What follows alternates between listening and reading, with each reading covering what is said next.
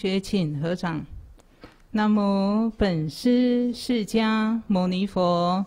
南无本师释迦牟尼佛。南无本师释迦牟尼佛。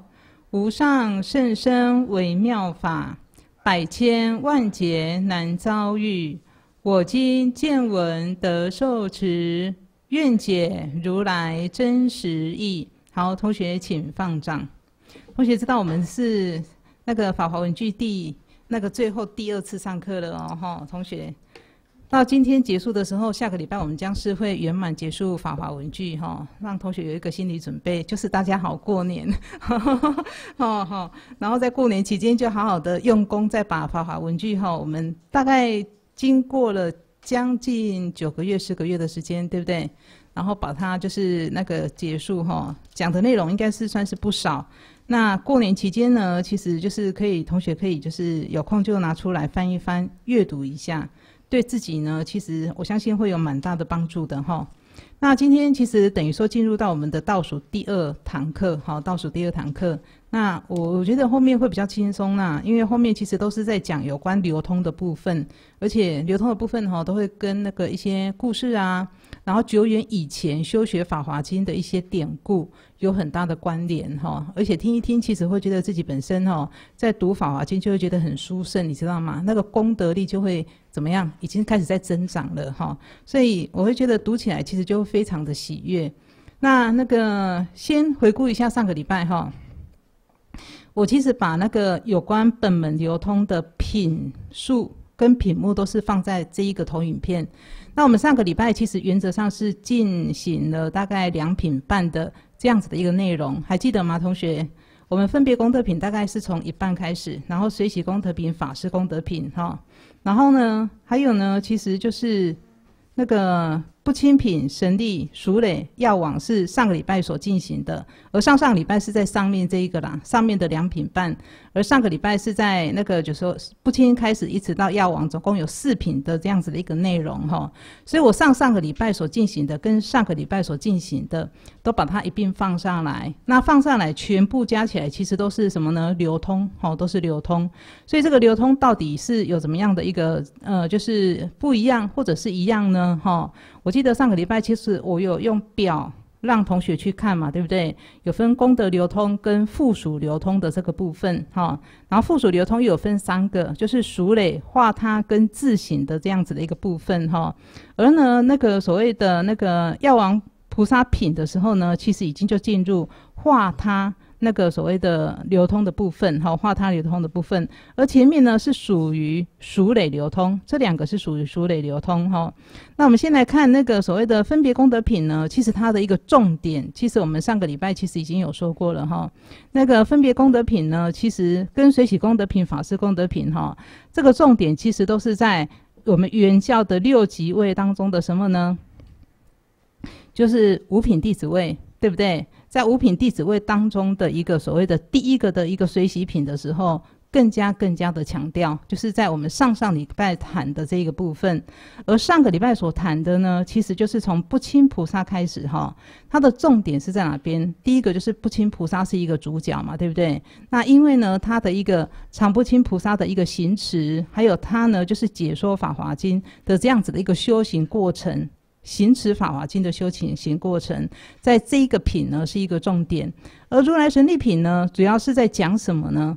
讲的是佛陀十大神力的这样子的一个事情，重点是佛陀十大神力。所以同学可以回去翻一下哈，我们上个礼拜其实就是很简短的介绍了佛陀的十种很大的这样子的一个神力，然后附属什么呢？本化上行的这样子的一个菩萨神力跟熟累刚好是两个是对等的，为什么呢？一个是附属本化的一个上上等的菩萨，一个是附属什么呢？基门的这样子的一个众菩萨哈。那基本的众菩萨主要是在正法跟相马相法的两个一个时代弘扬此经，所以同学可以看到哈，神力跟熟累，我这边是不是有把它用红色的字标什么呢？就是本化跟基化的众菩萨，对不对哈？然后在第四个的药王品的时候呢，其实重点是在讲那个药王菩萨，对不对？他宣说以及什么呢？分身供养的故事。而这个故事呢，其实把那个整个《法华经》有没有它的一个经网的地位都在这个地方确立了。所以药王菩萨其实也因为跟智者大师修行有很大的关系，对不对？那智者大师因为听到药王菩萨的其中的一句有没有，就是是真精进是名真法供养如来，而获得法华三昧前方便。而今天其实我们会有一点点的时间会介绍，稍微介绍一下法华三昧啦。因为法华三昧其实在我们天台的一个所谓的学派当中有没有，是一个很重要很重要的一个修行内容。不只说是在摩诃止观，而且是在另外有一个法华三昧的一个忏法忏仪，在这个地方呢，其实都是一个很主要的这样子的一个修修行的一个功课啦，哈。所以这个其实我们今天可以期待一下哈。那这个图呢，其实我上个礼拜有就是呃放出来让同学看过哈。那在今天的时候，一开始还是让同学稍微回回顾一下，就是有关我们本门。序分、正中分跟流通分的这一个分布的一个品目的一个状况，对不对？而呢，本门它的一个重头戏是在流通分，对不对？然后流通分有分功德跟附属，那功德是上上个礼拜所谈的，哈，水洗法师跟常不清。那我们那个还有常不清是我们上个礼拜谈的。那在流通的一个所谓的附属流通分三个，哈，就是熟累、化他跟自行，对不对？哈，而我们呢，其实上个礼拜就进行到那个所谓的熟累结束，进行到化他的一个药王菩萨本视频的第一个，啊，那今天其实原则上会进行一二三四四个品，好，四个品。那这个四个品其实都很轻松，为什么？就讲妙音菩萨的故事。还有观世音菩萨的故事，哈，这个都很像，而且很有趣，然后也怎么样，非常非常的这样子的一个受益。然后呢，第二十六个陀罗尼品呢，就是讲咒语，所以咒语的那个所谓的篇幅会比较短，哈，因为咒语的部分其实我们就会没有讲，哈。以及呢，到第二十七个，哈，非常非常有趣的一个故事，哈，就是妙庄严王本视频。这个其实哈，每一个品数品目的一个内容都在讲故事，所以今天可以说我们其实都是在讲那一个所谓的典故的这样子的一个课课程过程当中，所以其实可以放松心情哈。所以我们呢，其实一开始其实我们就在讲我们的那个妙音菩萨品哈，从第什么呢？二十四品的这一个品次品次品次开始哈。那我们从那个文具这个地方来看起。文中呢，自是习呢，奉云雷音王佛有十万种记，今呢有化他土音乐自随哈。那主要是什么呢？主要是其实在有没有 世尊不是在讲法华经，对不对？而在法华经的这样子的一个讲演的过程当中呢，其实在他方国那个国国的一个佛叫做云雷音王佛的那里有一个菩萨叫妙音菩萨。他呢，其实是被释迦佛的一个所谓的佛光所照射，而因为这样子的一个因缘，他想要到那一个所谓的那个娑婆世界这个地方来的一个一段因缘，哈，一段因缘。而这段因缘呢，其实也顺便讲一下，跟那个所谓的药王菩萨品是有一点关联的。为什么呢？因为其实药王菩萨品，我不知道同学有没有注意啦，哈，药王菩萨品其实在药王菩萨燃身供佛，以及呢。把他的一个整个那个修持功德整个展现出来的时候，与会的大众其实有呈现了一个非常殊胜的三昧，叫做普现色身三昧。而这个所谓的普现色身三昧呢的这种运用，其实就是在妙音菩萨品的这个地方呢，再一次展现出来，而不止妙音菩萨品在。观世音菩萨品的时候，也是以这样子的一个所谓的那个三昧呢呈现出来。这个是这三品关联的地方是在这里哈，所以就顺便讲到这里。那我们大概有这样子的一个概念之后呢，我们再来看哈妙音菩萨品。然后呢，就是妙音嘛，哈，跟音乐有关系哈，所以金呢油画他土，音乐自随，就是妙音菩萨呢到他方国土去油画的时候，其实那个所谓的身上其实就会自带音乐，跟随着他。习呢，就是为什么他会有这样子的一个所谓的殊胜的这样子的一个呈现呢？因为跟过去师过去师他所种的因因那个所谓的因缘有关系哈，所培福的这样子的一个功德力。因为呢，过去奉八万四千宝钵今呢而许到去气，然后呢有眷属围绕哈，然后还有呢过去他得一切众生的语言陀罗尼，那今呢以普现色身可以怎么样？妙音声遍吼十方哈，普现色身的意思就是说，它可以以色身遍满十方国去教化众生，这个叫普现色身哈。所以弘宣此教，所以名为呢妙音品哈，就跟那个所谓的声音有关系哈。此品名菩萨以其难思之力，然后随类通经，悟睹其机，然后呢莫测其本。就是什么叫悟睹其机？就是我们可以看到妙音菩萨所展现不可思议的力量，怎么样？可以随众生的类别而教教教化给他们一些经教跟经法。但是呢，他本本行的这样子的一个功德力的一个行持，没有办法去测量。哈，但甘其位，无则其行，当悲其地，自忘其流。哈，即是呢，化他们中的。第二义哈，为什么是化他们中的第二义呢？因为第一义是什么呢？药王菩萨品哈，药王菩萨品。所以其实可以看到哈，就是妙音菩萨呢，其实就是用他的一个所谓的呃能力、神通之力，没有选择众生的行类而怎么样？去教化每一个众生，所以当悲其地，自翁其流的意思就是这个样子。其实就是把他自己本身的一个功德力隐藏起来，而用卑下的这样子的一个身形来教化众生，哈，来教化众生。这个也是我们菩萨让人家觉得非常敬仰的地方，哈。这样子一个所谓的。不择其身而教化每一类的这样子的一个众生，这样子哈。而呢，妙音菩萨品呢，其实比较简短哈。那文呢，其实大概就是六大项，好，六大项。而这六大项，其实我会分别放在我们后文的经文当中哈。第一个放光东照，然后风命西来，十方红金，二土得意，还归本国之后呢，就是。文品进道哈，而这六个呢，其实就是可以看到整个典故的过程。好，就是头先呢，其实就什么呢？有光照到他，然后呢，他就奉命，奉谁的命呢？我们等一下会看到哈，就来到释迦佛的这样子的一个国土。之后呢，十方红金，然后两土得意，就是在娑婆世界这个地方得意，以及在他的那个国土也得意。之后怎么样？还归本国，哈，就回去了。然后文品尽到，就与会的人呢，听到这一品，其实怎么样？就是增进自己本身的一个道品，这样子哈。大概整个内容就是如此哈。我们来看一下经中所说的哈，就是尔时呢，释迦牟尼佛放大人像，肉髻光明，还有呢。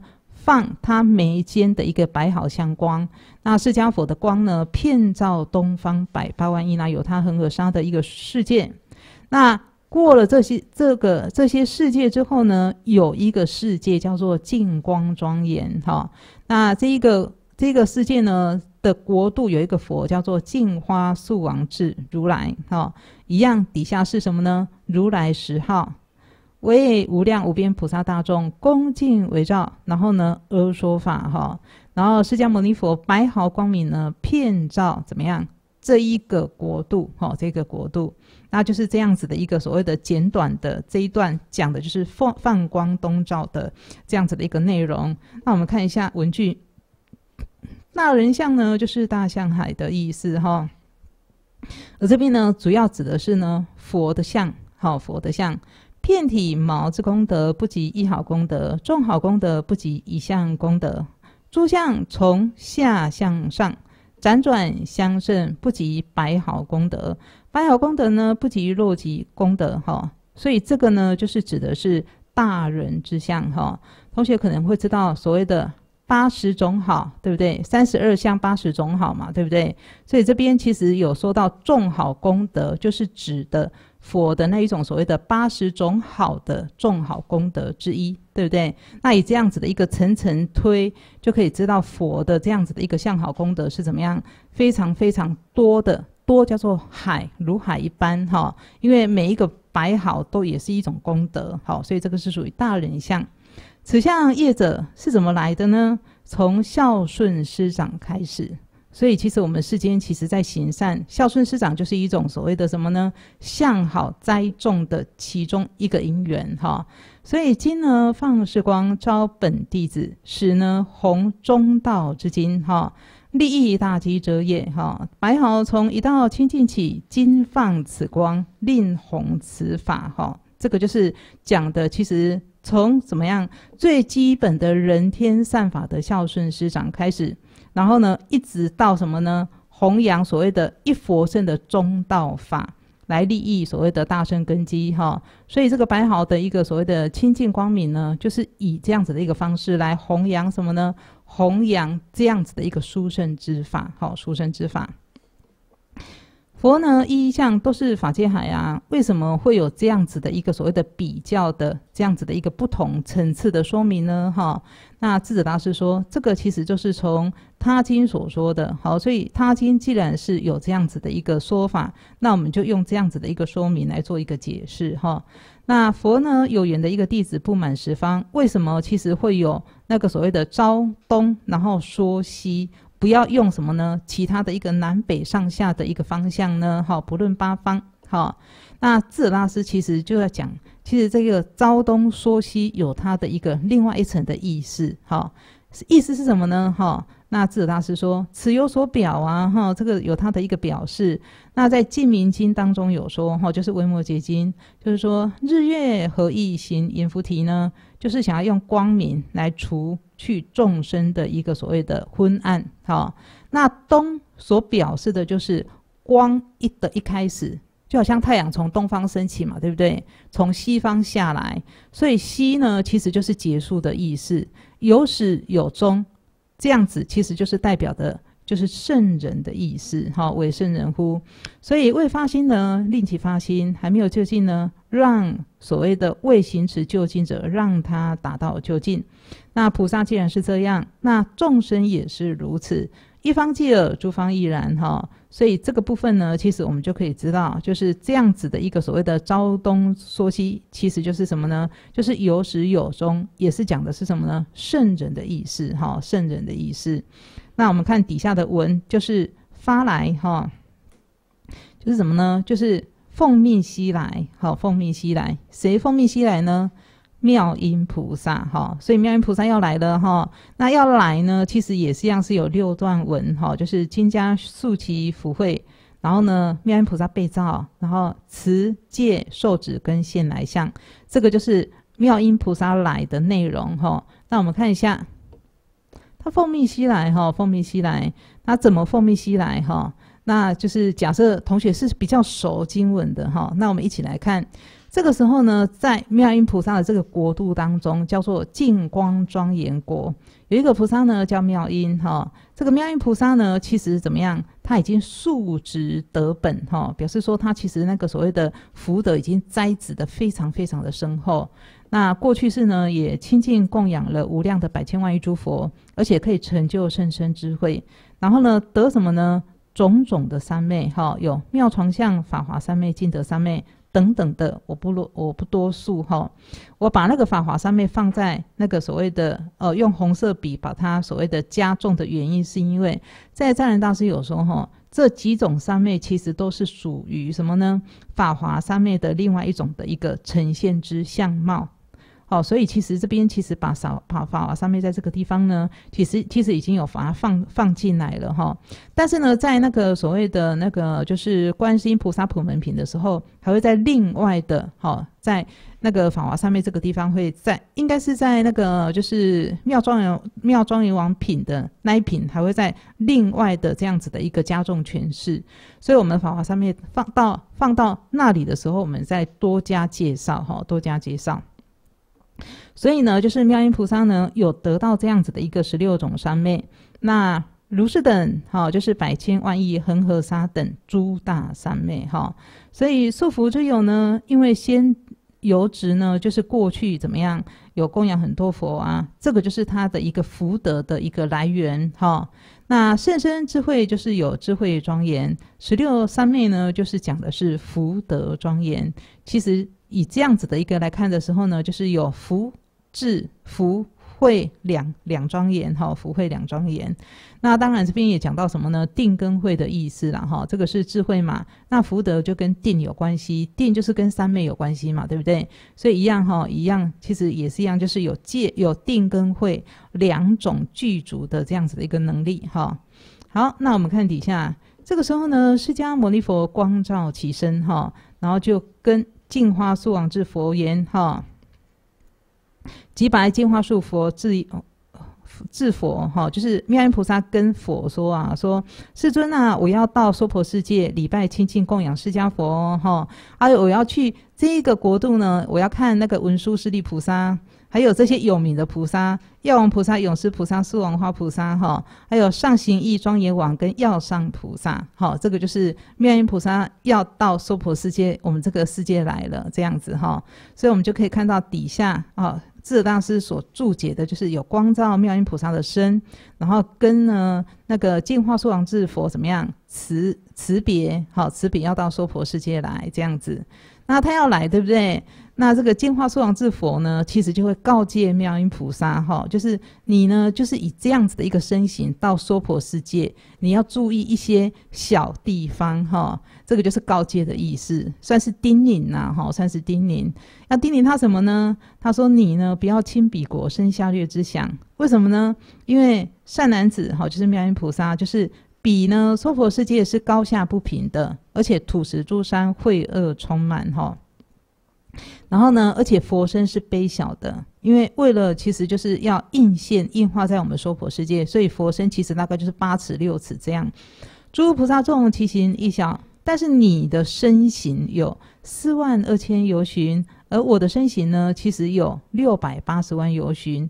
你呢，身是第一端正，百千万福，光明殊殊妙的哈。所以是故呢，你往莫轻彼国哈，不要轻视这样子的一个国度哦哈。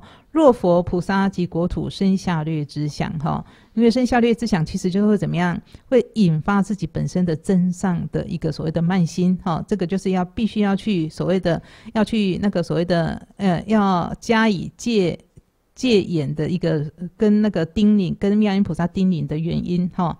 那我们看文句：佛界者然法身大事，故呢不速而成，哈，不不速而成就是不加。不加以运作而怎么样，就自然而然，其实法身大事就是这样子的一个呈现。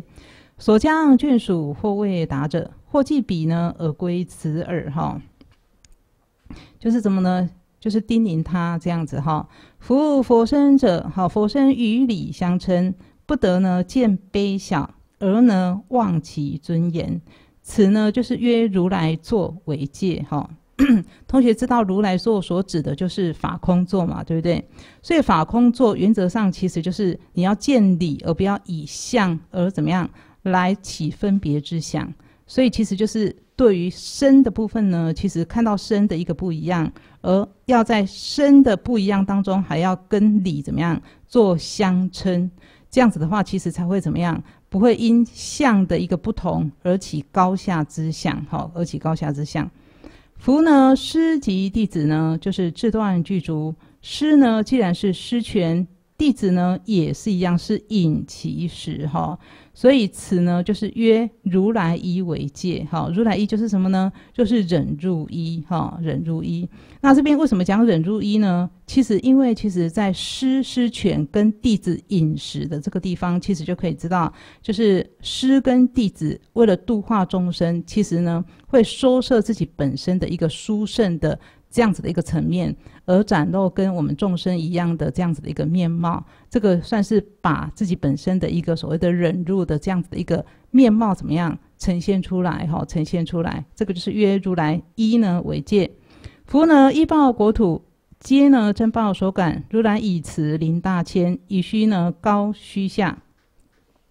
误睹依依报呢，而乎正报也。这个就是曰呢，如来世呢为戒哈。这个我们可以知道嘛，如来世就是慈悲之事哈，所以可以看到就是如来以慈而临大千的这样子的一个慈悲的一个心怀哈，慈悲之心怀。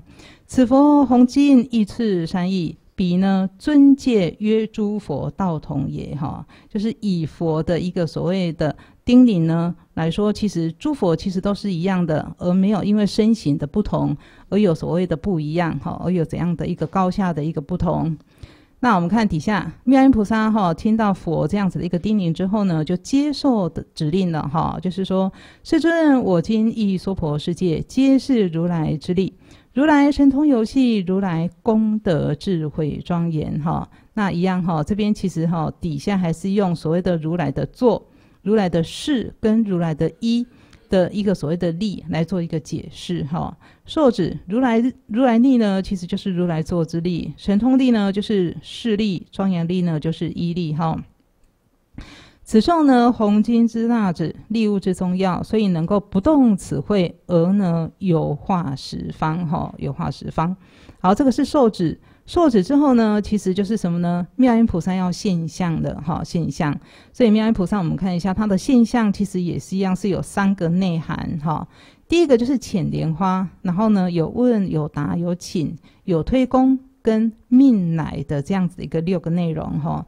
所以我们看现象，这个时候我们看妙音菩萨如何怎么样而现象。这个就是妙音菩萨哈，他之所以会为一个菩萨的一个所谓的殊胜的一个功德力哈，他不起于坐，身不动摇，然后入了三昧哈。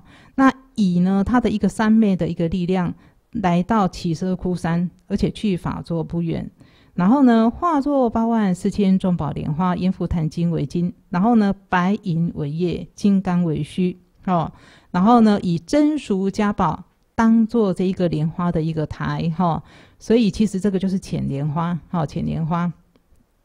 同学可以想象那个画面哈，那个非常非常的一个殊胜庄严。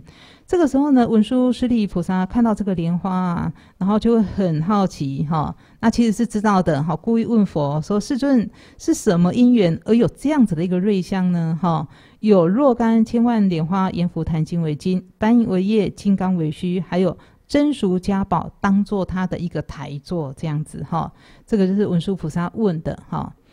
若文殊位下，慈不应求见呐。如果说文殊菩萨的位很高的话，向来哪乎不是呢？哈，这个就是问文殊菩萨哈，为什么会有这样子的一个疑惑，对不对？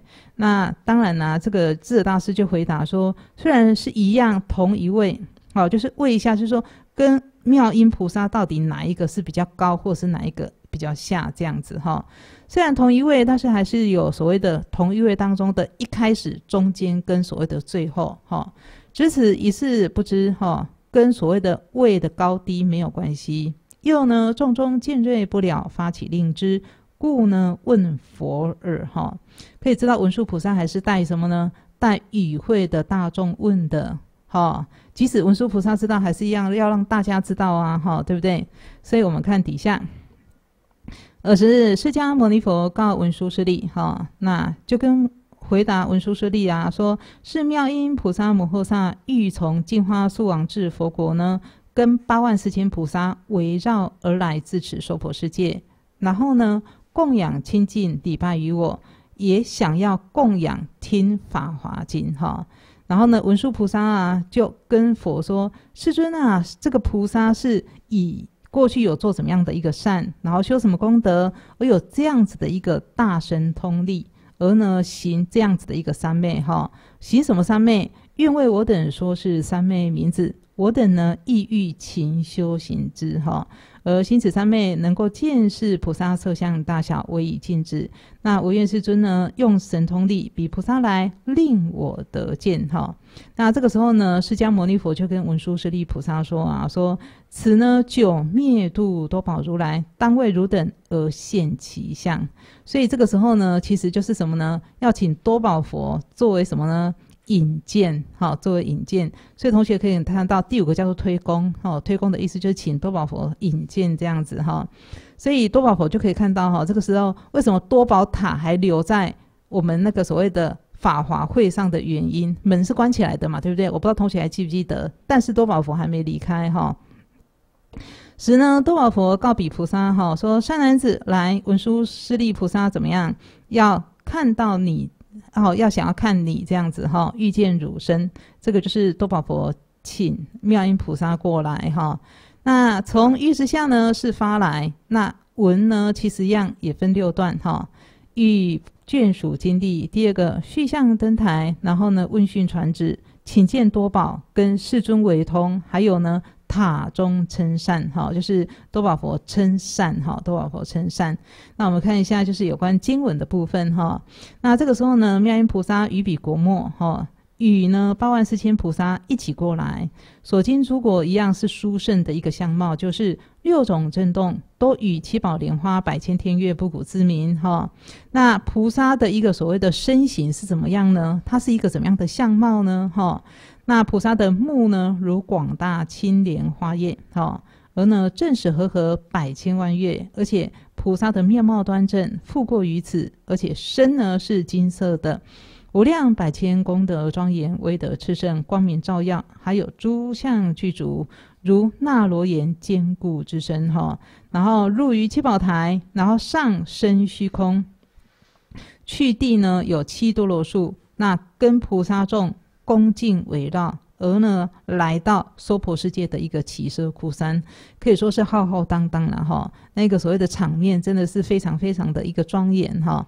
那到了所谓的那个释迦佛的这个地方之后呢，哈下七宝台用价值的一个百千璎珞，然后呢持到释迦牟尼佛所，头面礼足奉上璎珞，然后。而呢，白佛言哈，白佛言，所以这边呢，其实等于说是开始来，就是问讯释迦佛哈，就是世尊净花树王智佛，然后问讯世尊少病少恼起居清利安乐行佛哈，就是那个代为所谓的净花树王智佛怎么样？问讯哈问讯，而这边呢少病少恼起居清乐哈，其实佛不可能会有病，也不可能会有恼。同学应该都知道嘛，哈，问的就是众生是不是有很多或者是很少烦恼呢，哈，是不是易众生是不是易容易受受度化呢？等等的，大概是这个样子的一个意思，哈。然后呢，四大调和否？事事可忍否？众生易度否？无多贪欲嗔恚与之嫉妒千慢否？还有呢，就是无不孝父母，不敬沙门，邪见不善心，不摄五情否？还有呢，就是众生是不是可以降服诸魔怨佛？哈，其实就是佛呢，以及呢，就是菩萨们所关心的，这个才是最重要的部分。哈，不会不会关心你说是不是有得到很多的财宝啊？哈，生活是不是怎么样的安逸呀？不会关心这个。哈，这个才是最重要的，因为它牵涉到我们的一个轮回生死。哈，轮回生死。好，九灭度多宝如来在七宝塔中来听法否？哈，这个就是妙音菩萨哈讲到多宝如来，然后又问讯多宝如来，然后安问少脑堪忍久住否？世尊，我今遇见多宝佛身，希望什么呢？世尊让我看到多宝佛。哈，这个就是有关妙音菩萨的一个所谓的想。要见多宝佛，这个时候呢，释迦佛跟多宝佛说：“是妙音菩萨欲得相见，想要看你。”好，这个时候多宝佛就跟妙音菩萨说：“善哉善哉，你能够为供养释迦牟尼佛，然后听法华经，还有看到文殊师利等，故来呢至此，来到娑婆世界这个地方。所以这个就是塔中称善，好，塔中称善。”那第三个部分哈，就是有关十方红经的部分哈。那初是问众和善根，第二个呢是问有是神力。那善根呢是问什么呢？过去众善根。那神力呢，当然就是现在显神力。所以善根是问过去，而神力呢是问现在哈，就是时间不一样。那我们看这个时候呢，华德菩萨就跟佛说哈，就是世尊是妙音菩萨众和善根。然后呢，修和功德而能够有这样子的一个神力。那佛呢回答有两个，哈，就是因为过去是他现月，然后奉气，然后呢才会有现在的现在的一个所谓的果报，哈。所以我们直接看经文就知道了，哈。所以佛呢告华德菩萨，过去有佛叫做云雷音王多陀阿伽多阿罗诃三藐三佛陀。那这三个词，我相信同学已经熟了哈。那我想说，再出现就把它标上来哈，让同学知道这三个就是如来应供跟正偏知。那底下的后面的另外的一个七个名称其实是省略的哈，所以这三个其实就是代表佛的一个名号的意思。国民呢，现一切世间哈，皆名喜见。那妙音菩萨在万二千岁哈的一个时间。以十万种祭月供养云的因王佛，还有呢，奉上八万四千七宝钵。那以这样子的一个因缘果报，所以他才有办法生在净化速王至佛国，而且能能够展现这样子的一个神力哈，展现这样子的一个神力。所以真的哈，叫做什么呢？有因必有什么呢？果哈，这样子的一个殊胜之因，就有这样子的一个殊胜之果了哈。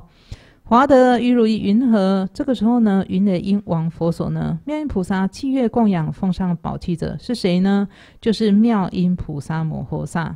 华德是妙音菩萨已经供养哈，过去供养无量诸佛九值得本，而且呢，又值恒河沙等的一个百千万亿那由他佛哈。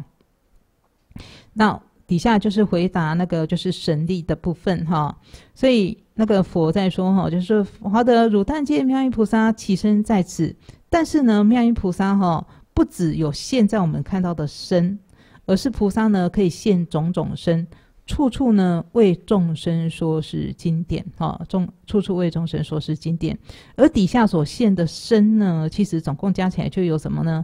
三十四身。好，所以有放望身、第四身、自在天往生、哦，现自在天身、大自在天身等等的哈。这个底下的部分其实就省略，我们直接看文句哈。所以其实就可以知道，总共有三十四个凡夫凡身哈。还有什么呢？四种的圣人身，哪四种呢？声闻辟支佛，还有什么呢？菩萨，还有佛行哈。因为菩萨也可以现佛行嘛，对不对？哈，这个四种圣人身呢，结成十法界六道，哈，十法界六道。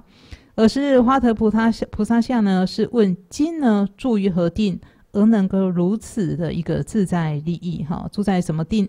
这个定呢，其实刚刚一开始有跟同学讲，是一个重点，哈，就是什么三昧，现一切色身三昧，好，现一切色身三昧。这个也是延续我们药王菩萨品过来的哈，所以二十日花德菩萨白佛言：“世尊是妙音菩萨身重善根哈，那世尊是菩萨住在怎么样的一个三昧呢？而能够如是在所变现，然后呢度脱众生哈。那佛呢就告华德菩萨说哈，就是善男子，他的三昧明现一切色身。”妙音菩萨呢，住是三昧之中，可以如是的饶益无量的众生哈。那说是品时哈，那有什么呢？良土的利益哈，与妙音菩萨俱来者有八万四千人，都可以怎么样？皆得现一切色身三昧哈，跟怎么样？妙音菩萨同样的可以展现这样子的一个一切色身三昧。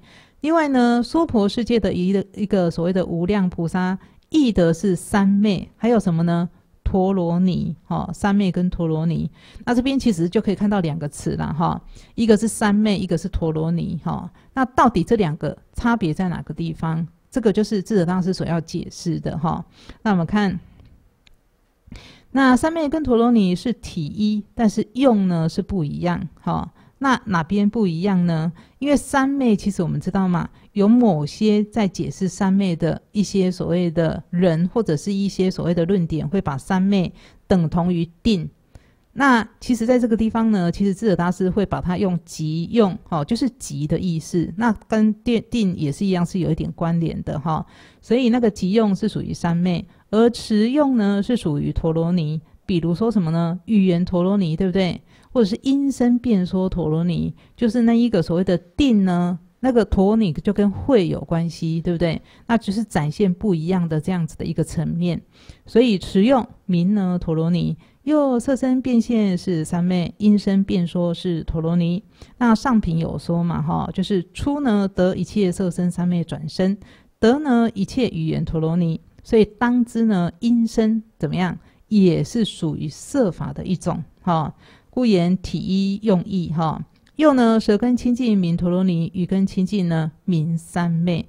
这个呢，其实就是等于说是在那个所谓的陀罗尼跟三昧这个地方稍微做一点点所谓的分辨，哈。而这个呢，都是属于六根清净的一个法门。那总而言之，其实是怎么样？两者在体上来讲是不二的，但是用呢就有怎么样有差别。那这样子的一个理解，我想应该就会比较清楚，哈，比较清楚。好，那我们再看底下二十日妙音下，这个是怎么样？结束了哈，妙音菩萨要回回去了哈，我们算是很快哈，要跟妙音菩萨说再见哈。这个时候呢，妙音菩萨摩诃萨呢，其实就供养释迦牟尼佛，还有多宝佛塔哈。然后返归本土，所经诸国呢，有六种震动，以宝莲花，做百千万亿的一个种种伎乐。那接到本国跟八万四千菩萨围绕到净花素王之佛所。然后就跟佛说啊，世尊，我到娑婆世界找一众生，看到释迦佛还有多宝佛塔，有礼拜呀，有供养，而且呢又有看到什么呢？就是慕名已久的文殊菩萨哈，然后还有看到药王菩萨、德行精进力菩萨、勇施菩萨等，也是一样哈，令他们得八万四千菩萨，而且得现一切色身三昧哈。其实哈，在与会的菩萨可以很快的这样子的一个入这样子的一个殊胜三昧。都跟妙音菩萨或者是佛在场的加持力绝对会有很大的关系哈，所以我们其实借着语言哈，借着文字来看这一个场面，其实我们就是顶多感到非常的法喜，但是与会的那个功德力就这样无法去怎么样测量跟衡量哈，而且非常殊胜哈。我们看动地雨花的哈，菩萨经历上能够旁旁逸哈，更何况佛前放光可以照。旁照东方的一个百八万亿那有它的一个土，也是一样呢，就是义呢旁论地义哈，这个就是有关旁义的这样子的一个部分哈。那文品进道啊，说是妙音菩萨来往品时呢，就是四万二千天子可以得无生法忍，华德菩萨呢得到法华三昧哈。这个呢，其实就是有一点再怎么样，跟我们在二十七品的妙庄严王品怎么样？有一点关联，那个法华三昧在这个地方又怎么样？又再出现一次。那原则上，其实一切色身三昧哈，算是由前品一直延伸到这边，然后呢，又多了一个法华三昧的一个重点，让我们去注意的部分哈，让我们去注意的。部分，那这里呢，其实就等于说是我们妙音菩萨品简短的诉说这样子的一个所谓的典故了哈，也算是很愉悦、很精彩哈。那我们其实很快的就是呃进行到这个地方结束哈。那大概那个重点大概就是呃刚刚跟同学所说的，就是妙音菩萨跟那个所谓的多宝佛的关系哈，以及跟我们法华会的关系，以及呢一切色身上面的一个展现跟利益。还有呢，就是华德菩萨的那个所谓的法华三昧，在这个地方有怎么样点出来？哈，有点出来。然后底下其实就是来到我们其实非常非常流行的普门品，哈，普门品。那在进入普门品之前，哈，我相信同学对普门品是已经熟悉到已经是无法再熟悉了，哈。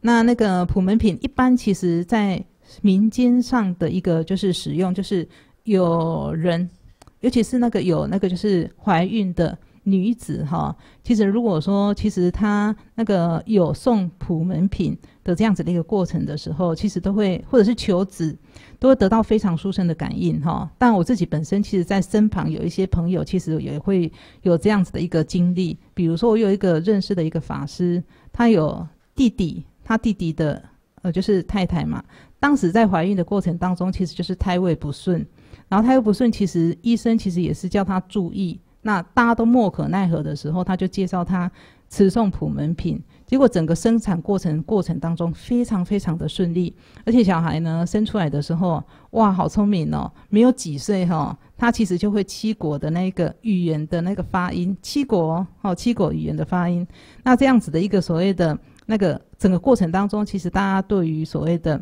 佛法。以及对于所谓的佛的这样子的一个信仰力会更深哈，更深。而普门品其实它的一个流行不是没有原因的哈，因为观世音菩萨跟我们娑婆世界的这样子的一个缘分特别特别之深，好，特别特别之深。那我这边呢，其实一开始跟同学介绍的是普门品盛行的来由，哈，因为其实同学一定会很奇怪嘛，就是二十八品的一个所谓的法华经，为什么单单只有普门品是摘出来，特别会被大家所持诵的哈。那这个地方它的一个流行的一个来由是在哪一个地方呢？哈，主要是在当时的魏晋南北朝那个时候，哈五胡乱华那时候呢，其实有一个北凉的一个国王，他叫做巨曲蒙逊。我这边其实红色的一个颜色的那个字，就是标在这里哈，就是屈曲蒙逊。他当时其实害了一场病呐，而这个病呢，其实我我们现在看起来其实就知道是业障病。为什么呢？因为群医束手无策哈。那这时候怎么办呢？这时候其实从印度来的一个法师也蛮有名的哈，这个法师叫做谭无称。谭无称呢就劝他哦，你要念诵普门品哈。那他呢，其实可以消除我们的一个障碍，而且会让你的身体恢复健康。你想想看哈，一个国王，对不对？他听到他的话，而呢遵照他的一个指示哈，而且结果居然是怎样？病自然自然而好了哈。所以因为他的一个所谓的病不药而愈啊，那呢以国王之身，他就教哦，哎，那你那个国中哈。的那个所谓的人民，就叫他们送普门品好了哈。那很多人其实听到这样，自然而然就会自动怎么样送普门品。这个呢，其实也是普门品，就是它的一个流传最重要的原因之一哈。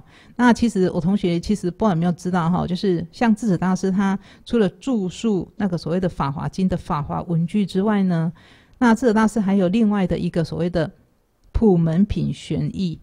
另外把普门品摘出来，另外做一个著述，所以可以看到智者大师对普门品的重视。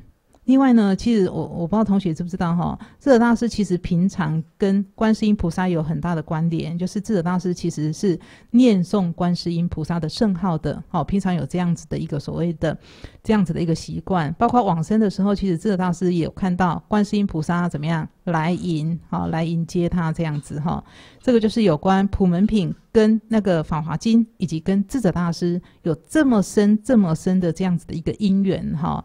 那还有呢？其实我记得我在前年的时候，在华范哈教的是那个就是呃观音法门。观音法门，我一开始不是教那个所谓的观音三经哈，我一开始其实教什么呢？图像。如果同学对于有关我们那个中国佛教的艺术有一些注意的话，其实哈，其实会注意到，其实观音所显现的那个。图像会非常非常丰富，其实不止我们所看到的，就是很美很庄严的那种女众之像，不止哦，有很多啊，像比如说水月观音，还有普门品所展现的那个非常非常浩大的那样子的一个三十二应身的这样子的一个所谓的图像，还有雕像，还有十一面观音。六臂观音等等的很丰富，很丰富。所以从图像在了解观音的时候啊，其实一个很精彩、很精精彩的一个角度哈，可以看到当时大家对观音的那个信仰的热忱哈，以及跟观世音菩萨哈的那个相应度哈，相应度。这个是几个角度啦哈。那除了那个所谓的普门品的一个名称的了了。那个所谓的知道之外呢，其实普门品还有另外几个名称，好，同学可以稍微看一下这边，好，叫做什么呢？叫做观音经普门品、观世音经，哈，观音经还有普门品经跟普门品。总总而言之呢，其实就是在我们法华经的第七卷，哦，就是第七卷第二十五品这个地方，另外摘出来再流通的，哈，流通的。我所要说的呢，其实就是观世音菩萨。普门视线的这个妙用哈，普门视线的妙用。那另外呢，我底下其实哈有标观音三经哈，观音三经。而这个观音三经呢，分别其实是在三部经当中出现的，很有趣，很有趣哈。第一个其实我们知道是普门品在法华经嘛，对不对？那第二个呢，其实就是在。楞严经，哈，对啊，非常好，就是什么呢？观世音菩萨的一个耳根圆通章，哈，而且同学应该知道嘛，楞严经其实那一个所谓的圆通章，二十五圆通章的最重要的一个圆通章就是耳根。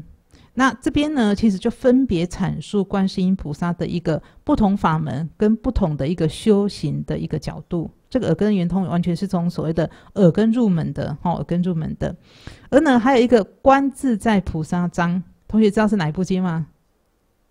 华严经，好，华严经，华严经呢？这个其实就是讲到什么呢？善财童子五十三参，对不对？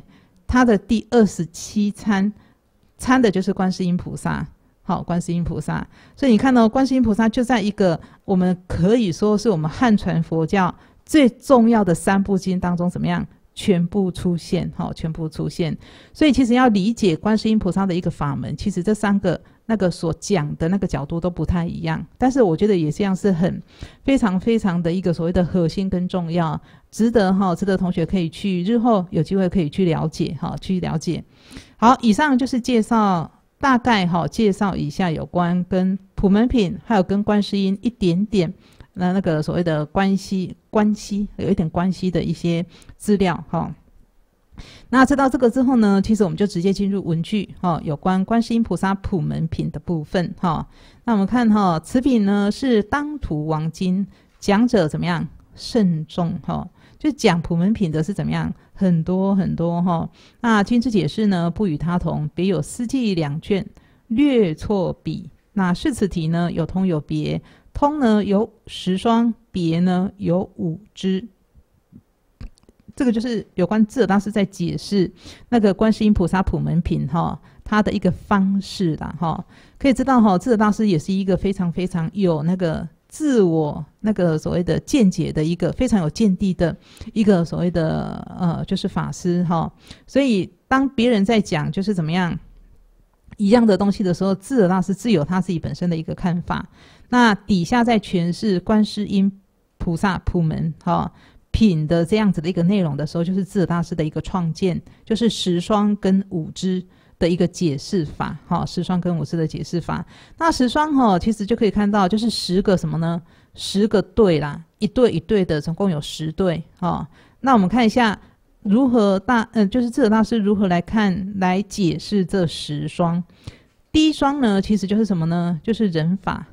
人跟法，好，就是观世音菩萨普门。为什么呢？观世音是人，普门呢是法。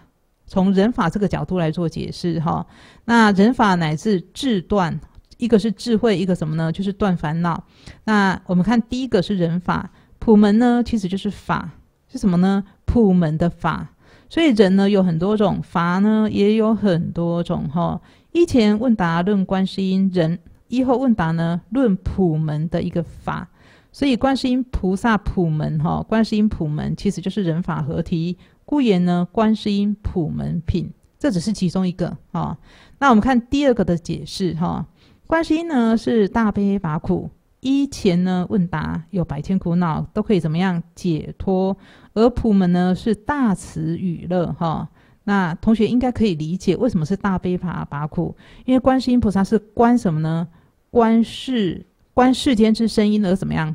救苦这样子，普门呢是普遍一切的，哈，普遍一切的给予众生之所谓的乐这样子哈，所以是依前问答，依后问答，因以得度，然后呢而为说法，所以用这样子的一个所谓的慈跟悲，大慈跟大悲来解释观世音普门哈。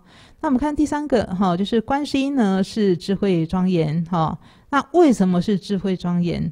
那因为智可以断惑，如呢明实无暗，哈，比如说像观自在菩萨啊，哈，这个观世音其实就是有那一种所谓的智慧的这样子的一个层面。那普门呢是福德庄严，福呢可以转受，哈，如呢珠与宝，哈，珠与宝，这个就是有关普门，哈，跟观世音的一个智慧跟福德。第四个呢，观世音呢是观明于尽，哈，那么就是法身。就是那个所谓的“观”字，哈，这个地方呢，来做一个所谓的更深入的了解，哈，就是对于那一个所谓的“境”，其实是什么呢？是明照的，好，是明照的。所以这个明照呢，是遍于一切，好，遍于一切。普门呢是怎么样？随所应现的，哈，这个是属于应身，所以这个是法身跟应身的一双，哈。第五个是观世音呢，譬如是药树王，哈，它可以遍体愈病。那普门呢？譬如是如意珠，可以怎么样呢？随意怎么样给予哈？随随意给予，这个就是有关那个呃片体愈病跟随意给予的这样子的一个所谓的不一样。总之，其实有一点类似像说是一个是体，一个是用啊，一个是体，一个是用哈的这样子的一个一双哈。那我们看第六个观世音呢，是名作利益，无所见闻哈。那就是三毒七难皆离，二求两愿皆满哈。那这个呢，其实是属于观世音。那七难呢，其实我把它简短的列在这个地方。那等一下，其实在我们在那个所谓的经文当中，其实所诠释的七难，会用经文比较长的篇幅来做那个所谓的论述哈。那我把它简短，就是火水罗刹，还有亡鬼枷锁跟所谓的怨贼难。这个就是有关七难的部分哈。那二求两愿主要是求男求女的这样子的一个所谓的愿跟求，都令他们怎么样满这样子哈。这个是观世音。普门呢，就是显作利益哈。可以看到目睹三十三容，耳闻十九尊教哈。在普门品这个地方呢，观世音菩萨其实有三十三现身。但是在《楞严经》呢，其实有三十二现身，所以其实我们在观音颂的时候，其实有一个呃那个一段句叫做“三十二印片成刹”嘛，对不对？这个三十二印其实是在讲的是《楞严经》，那在普门品是三十三的一个所谓的现身。那总之其实是千百亿化身的意思啦，哈。那我们看哈，就是有关普门呢，就是显作利益。那目睹有三十三的圣容，耳闻呢有十九尊教，哈，这个是有关那个观世音的名作利益跟显作利益的一一双，哈，就是一对。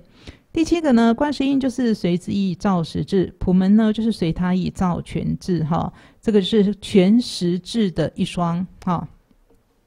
第八个观世音呢是不动本际，普门呢就是机任十方，哈。那这个是什么呢？本机一双，好，本机一双。第九个呢是观世音呢，是根本是了因种子，普门呢根本是原因种子，所以就是了因跟原因一双，好，这个就是有关那个观世音跟普门。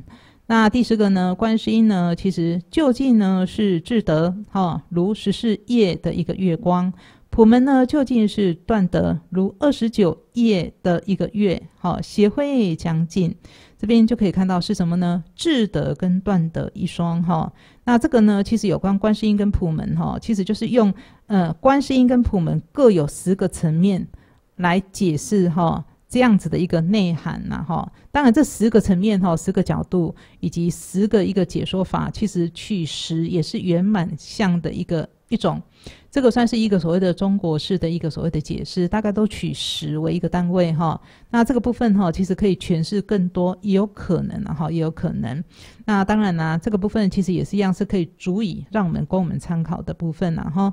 那就是以上其实就是观世音普门的这样子的一个解释。那我们来看一下哈，就是经文呢有两个问答哈，含无量义，略用十双。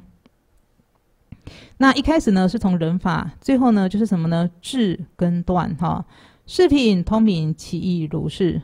所以其实我们把观世音跟普明、普门哈这两个词，能够把它很深入的去理解的时候，那我们对于观世音普门品哈的这样子的一个所谓的深意呀，它一个所谓的那么深的这样子一个内涵呐，我们才有办法去怎么样去探索。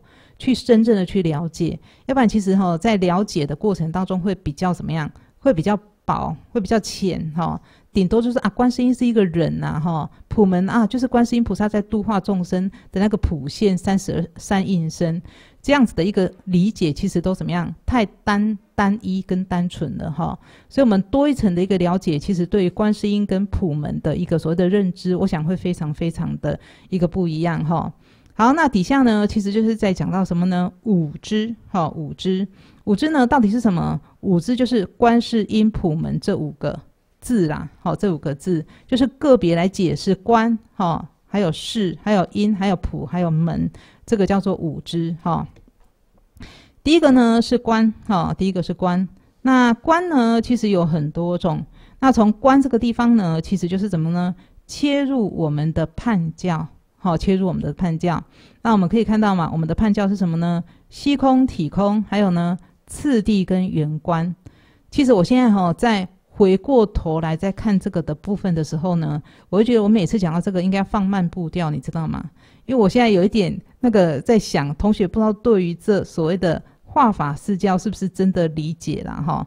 所以我们可以看哈，息法是灭色入空，体呢，体息观呐，息观是灭色入空。体呢是极色是空，次第呢是息观乃至圆观哈。那圆观呢是息观即是实相，乃至次第观也是实相哈。那现在简别三观怎么样？减除掉前面的息观、体观跟次第观，那唯论圆观的这一个部分哈。而这边呢，其实就在讲普门哈。那讲的其实就是什么呢？圆观的普。远观的普意思是这个样子啦，哈。那为什么其实在无断哈？所以因为有智才有断，两个其实是前后因果的。行呢就是什么呢？修行，修行的内涵。位呢就是阶位，因呢就是修行的因，而导致什么呢？导致所谓的我们修行之后的结果哈。所以其实我举一个例子了哈，举藏教好了。藏教的教法是什么呢？藏教的教法其实就是三藏教法。比如说阿含经教啊，哈，比如说所谓的那个所谓的我们所看到的那个经律论，有没有声闻的这样子的一个所谓的戒戒戒法戒学戒学这样子？它的真理是什么呢？它的真理其实就是偏空的涅盘，这个是那个所谓的藏教的这样子的一个真理哈，或者说它的一个果其实是所谓的偏空的涅盘哈。而智慧是什么呢？智慧是一切智，别教就是道种智。乃是淡中佛性呐，哈，而呢，所谓的原教其实就是中道佛性，哈的这样子的一个智慧。一切智道种智，一切种智，哈，原教就是一切种智。而断呢，其实就是有分什么呢？见思惑、尘沙惑跟无明惑。而藏教断的就是只有见思惑，哈。那行呢，就是修行的内涵，好，修行的内涵。像藏教的修行的内涵呢，是什么呢？其实就是像，比如说，那在见道之前的五庭心观，哈，就是四四那个所谓的四家行位。那乃至到那个所谓的入见道之后呢，再重行所谓的那个所谓的理观的这样子的一个修行次第，哈。那从所谓的出果、二果、三果、四果这样上来，哈，这个就进入到我们这个修行阶位的入果这样子。而因为有前面的这些所谓的因果，哈，修行的这样子的一个所谓的那个因果。的这样子的一个因，而导致可以正入果位的这样子的一个结果，这个是藏教的部分，哈，藏教的部分。那那个所谓的所谓的藏通别远，哈，所那个类别的这个八法有教理之段行为因果，它有没有简称呢？有的，它的简称就叫做教理行果。就是我用红色字所标的这四个，哈，所以同学应该会有听过，就是教理行国简称的这样子的一个四个字，或者是这样子的一个词，对不对？好，这样子的一个词。而呢，今天其实要稍微跟同学所带的这四教的内容呢，其实会比较简单，哈，就是什么呢？就是真谛跟俗谛的部分，好，真谛跟俗谛的部分。俗谛呢，其实是什么呢？就是我们其实。那一个教法的众生对于世间的认知，这个是俗谛啊，俗就是世间嘛。而真谛呢，其实就是什么呢？就是达到所谓的那个见得真理的这样子的一个所谓的真谛的看法，这个就是真谛。那中间有没有过程？有的，中间的过程其实就是什么呢？就是我们实践的观法。实践的观法，所以其实我中间哈，就是真谛跟熟谛的中间，其实我会放一个观法，而这个观法呢，其实就是我们刚刚在文句当中所看到的细空体空，还有次第跟所谓的圆观的部分，好，圆观的部分。所以我们今天算是比较简单的来看那个四教对于真谛跟熟谛跟观法的这样子的一个认知哈，像比如说哈，这个藏教的部分呢。我们对于实熟地的一个看法，其实就是实有，而呢用虚空的方式，而可以达到偏空。我举个例子哈，比如说哈，呃，藏教的一个所谓，我们其实都是属于大概就是以藏教的观点来切入。像实实熟地的为什么是实有，就是把世间所看待的任何的因缘和合所生的法，都会认为它是有的。像我看到人啊。会认为它是有的啊，它是实有的哈。那真实有这样子的一个所谓的人、桌子、椅子这样子，但是呢，它不是真实的有，它其实是假有的，好假有的。但是在藏教的人呢，其实会把它认为是真实有的，因为他分析到最后一点的时候，其实是有一个不可分的这样子的一个实在性哈。而呢，要怎么样灭除掉这个实有呢？要怎么样达到所谓的真理的境界呢？就是灭除掉这个实有的一个方式，好，就是用虚空的方式，哈，观察这个法是无常、苦、空、无我的这样子的一个方式，而达到偏空涅盘，好，偏空涅盘，这是藏教的一个所谓的修行方式，跟所谓的熟地跟真谛的认知，而通教呢，其实跟藏教所达的这个结果是一样的，都是什么呢？达到偏空涅盘。但是认知跟修行方法不一样，为什么呢？因为通教其实他看待所谓的世俗间的一个每一个法，其实都是幻化的，好，都是幻化的。而呢，这种幻化呢是空的，所以他其实能够体达到这个幻化其实就是空的这样子的一个了知的时候，其实他就是达到所谓的空的这样子的一个极灭状态。啊，他用的方法就是体空。好，用的方法是体空。那同学可能会问说：那这样子，既然达到的结果是一样，那我干嘛一定要修通教呢？通教其实有它的一个特殊地方，特殊地方是在于它可以通，通什么？通通前通后，好，通前通后。我其实那时候有跟同学讲嘛，对不对？就说当我们其实没有把握，说我们我们是大圣的一个所谓的。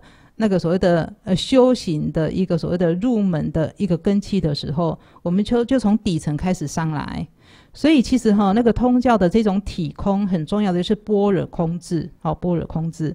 当我们有这样子的一个般若空智的时候呢，那我们在发什么呢？在发心，发心我们就上去了，好发心我们就上去。那我们会为什么有时候其实没有发心？其实我们就是落入到所谓的达到那个偏空的一个极灭状态，跟。其他的恶圣是一样的，因为那个心其实没有发起来，没有办法什么呢？从空入假，没有办法从空入假，所以可以看到哈，藏教跟通教顶多其实就是达到什么呢？空而已，好，达到空而已。而到别教呢，其实就有一个很殊胜的过程，叫做从空入假。从空入假，哈，乃至呢，其实可以达到什么呢？中的这样子的一个部分。所以别教跟原教的一个所谓的相比较来看的时候，其实就是一个次第，一个是什么呢？圆的这样子的一个不同，哈，次第跟圆的这样不同。同学可能会不知道说从空入假的一个殊胜度了，哈。那个有人问过一个就是问题说，请问一下哈，菩萨带众生苦啊，那个心是什么心情？哈？是苦的呢，还是喜悦的？为什么是喜悦的？为什么？为什么？因为众生苦，他得到乐。其实我会觉得哈，要回答哈。菩萨带众生苦，他的一个状态是什么？我觉得从空入假就可以解决解决这样子的一个所谓的问答。为什么呢？因为菩萨没有错，其实他其实是带众生苦，他把众生的苦拔起来。那因为其实他对于所谓的众生苦的那种苦的一个了达跟透彻，他没有对于苦的执着跟怎么样，跟所谓的障碍，所以他在空当中呢，其实又能够怎么样帮助众生。怎么样入假的这样子的，因为众生离苦的这样子的一个所谓脱苦嘛的这样子的一个减少而感到喜悦，所以这个从空入假其实就可以解决这样子的一个问题。所以这个就是有关于我们空假中的一个所谓的内涵认识啊，跟解决问题。我觉得在这个地方其实可以慢慢慢慢的去知道跟认知，哈，知道跟认知。那当然，其实到别教不是只有从空入假而已，因为还有一个什么呢？入中，好入中，因为其实毕竟从空入假只是一个行菩萨恨而已，真正的是要达到什么呢？达到中道佛性，是要成就佛道，对不对？所以是要成就佛道的这样子的一个所谓的状态的时候，其实菩萨恨都还不是我们真正要的一个目的，这是我们必须要去知道的部分。而我们要的其实就是什么呢？就是要成就佛道。那成就佛道其实不不只是别教的淡中佛性。我们要达到那一个所谓的原教的圆圆满佛性的这样子的一个空假中圆满，这个叫圆观，好，这个叫圆观，这个哈其实是非常非常重要。为什么呢？因为这个就是我们要发心的目的目标要抓准确，没有抓准确的话，其实就不是一个我们真正要达到的这样子的一个发大心的这样子的一个所谓的目标哈，这是我们要去认知跟辨别清楚的，而且也是智者大师要教我们的发大心的部分好，发大心的部分。所以呢，其实像别教的一个所谓的空假跟中的部分，其实就是淡中佛性，以及呢空是幻有即空，假呢就是幻有的哈，就是幻有的，也就是说把什么呢？把通教的。熟地跟真谛加起来，其实也只不过是别教的熟地而已。那别教的真谛是什么呢？就是有关成就佛道的这一个所谓的不空不有的中谛哈。那原教的殊胜是在于那个空假中同时运行哈。那这个呢，其实诀窍点是在一心当中具足三观，同时运用啊。为什么同时运用的书生在哪边呢？因为同时可以对于什么呢？对于法的了透跟怎么样？可以对于法了透之后呢，可以同时救度众生，而且同时可以对空假的不执着，而呢在当下知道实相是什么。这个就是空假中，而这个书生在哪边？因为是一心当中具足嘛。而且我们所有的法都在一心当中，所以任何的一个所谓的运用都是心的运用，任运而为。任运而为呢，其实可以什么样？可以少，可以大。所以那个大是无边际的，说呢，其实是可以一围成。所以一围成乃至无无边际的这样子的一即一切的这样子的一个展现。是在那一个所谓的展现的不可思议，哈，这个是属于原教的部分。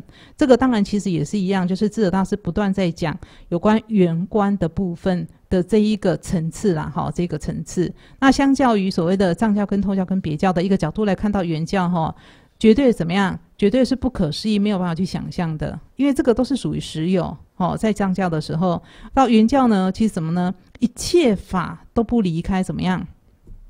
一个实相，每一切法都是实相，所以那个所谓的差距太大了哈，差距太大了。这个就是我们要稍微去知道的部分哈，知道的部分。而那一个所谓的方法，其实就是刚刚其实我们在看这一个所谓的息观、体观、次第跟圆观的部分的一个了别是在这里哈。而圆观呢，其实才是我们今天观世音普门哈的这一个部分的一个观所要讲的。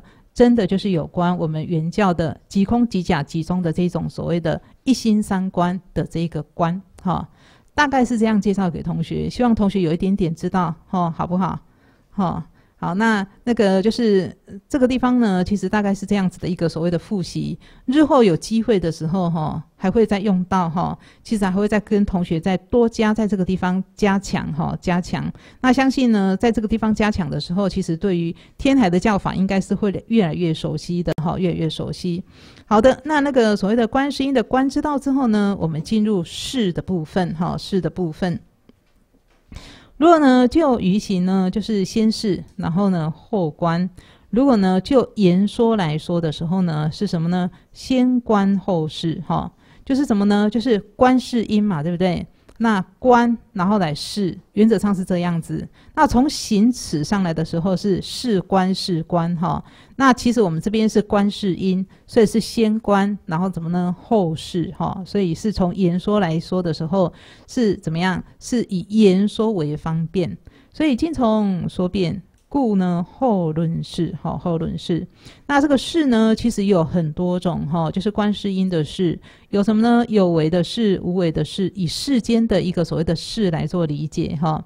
还有两边是不思议事，两边指的是什么呢？有跟无两边哈。还有不思议的世间哈。有为的世间三界事哈，三界是过去、现在、未来哈。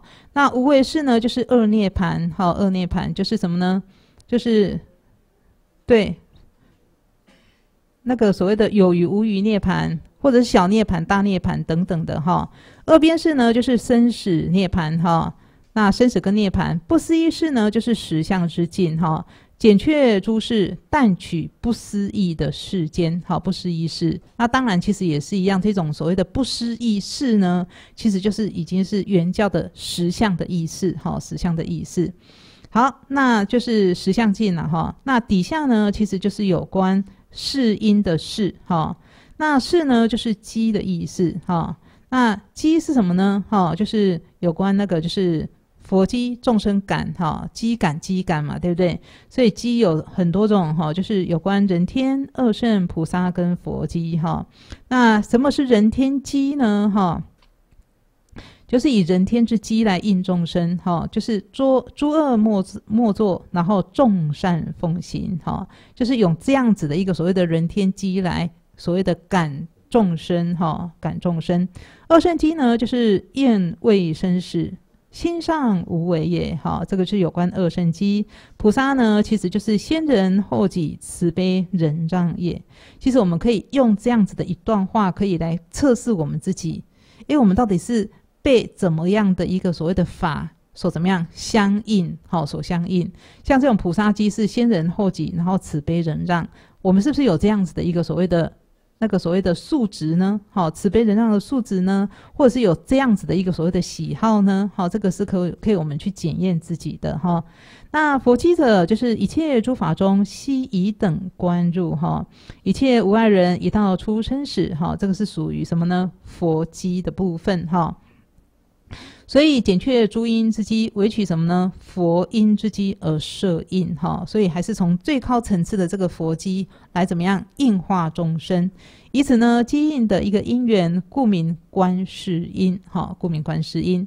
那第三个、第四个呢，其实就是普门的普，好，普门的普，普呢，其实我相信同学是知道普普遍嘛，对不对？所以它是有周遍的意思，哈，周遍的意思。诸法无量，若呢不得普，那么就是所谓的片法；如果得普呢，就是属于圆法。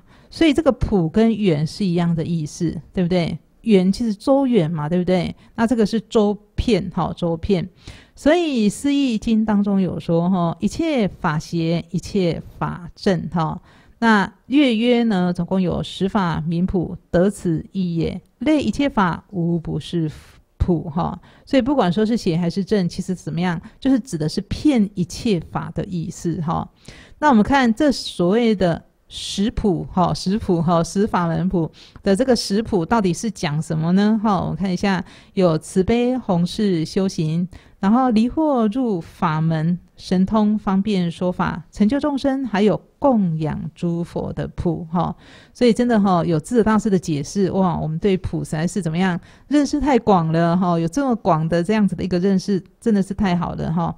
那我们看一下什么是慈悲普，就是什么呢？慈悲是普遍一切的。那我们知道嘛，其实大概慈悲哈，无缘那个所谓的慈，大概有三种，就身。法还有无缘，对不对？所以其实不用看这一段，我们就知道这一种普慈悲普一定讲的是无缘大慈大悲的，哈。所以我们看始至人天，终至菩萨都有慈悲，哈。但是呢，这种慈悲其实怎么样就不一样，有普跟不普的差别，哈。所以身法两缘，哈，就身跟法这两个，哈，众生跟所谓的法的这样子的一个所谓的慈。此体既偏，然后披远不广，那这两种缘是不得称普的。只有无缘跟实相的体同，然后其体既圆，然后呢，慈呢米不骗，慈呢是怎么样骗一切的哈？所以你看智者大师举例哦哈，举什么呢？磁石吸铁，任运是相应的，如此慈悲可以骗熏一切，名为慈悲普。好，慈悲普。那我们就可以知道哈，原来慈悲哈，它的一个所谓的骗熏一切的这样子的一个普，其实是怎么样？是骗一切的。所以哈，其实有同学一直在问哈，问什么呢？问怎么样能够跟佛菩萨感应？佛菩萨的慈悲是骗一切的，同时是在等我们哈。所以只有什么呢？我们准备好了，那佛菩萨怎么样？自然而然可以怎么样？可以跟我们感应。好，问题在我们绝对不是在佛菩萨的一个什么呢？他的一个偏心的大小心哈，所以这个就是我们要去认知的部分哈，认知的部分。好，第二个是弘誓普哈，弘广也哈，就是示智也，广智要心，所以是说是弘誓哈，弘誓。那弘誓呢，是从四谛而起哈，四谛同学知道是哪四谛吗？对，啊。不用讲那个生灭无生无量，那个所谓的四谛其实就是苦集灭道，对不对？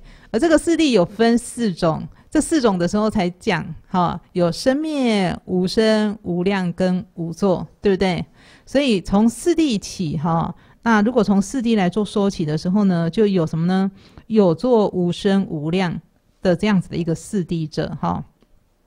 有作指的就是生灭，无生就是所谓的通教的嘛，对不对？无量就是所谓的别教的。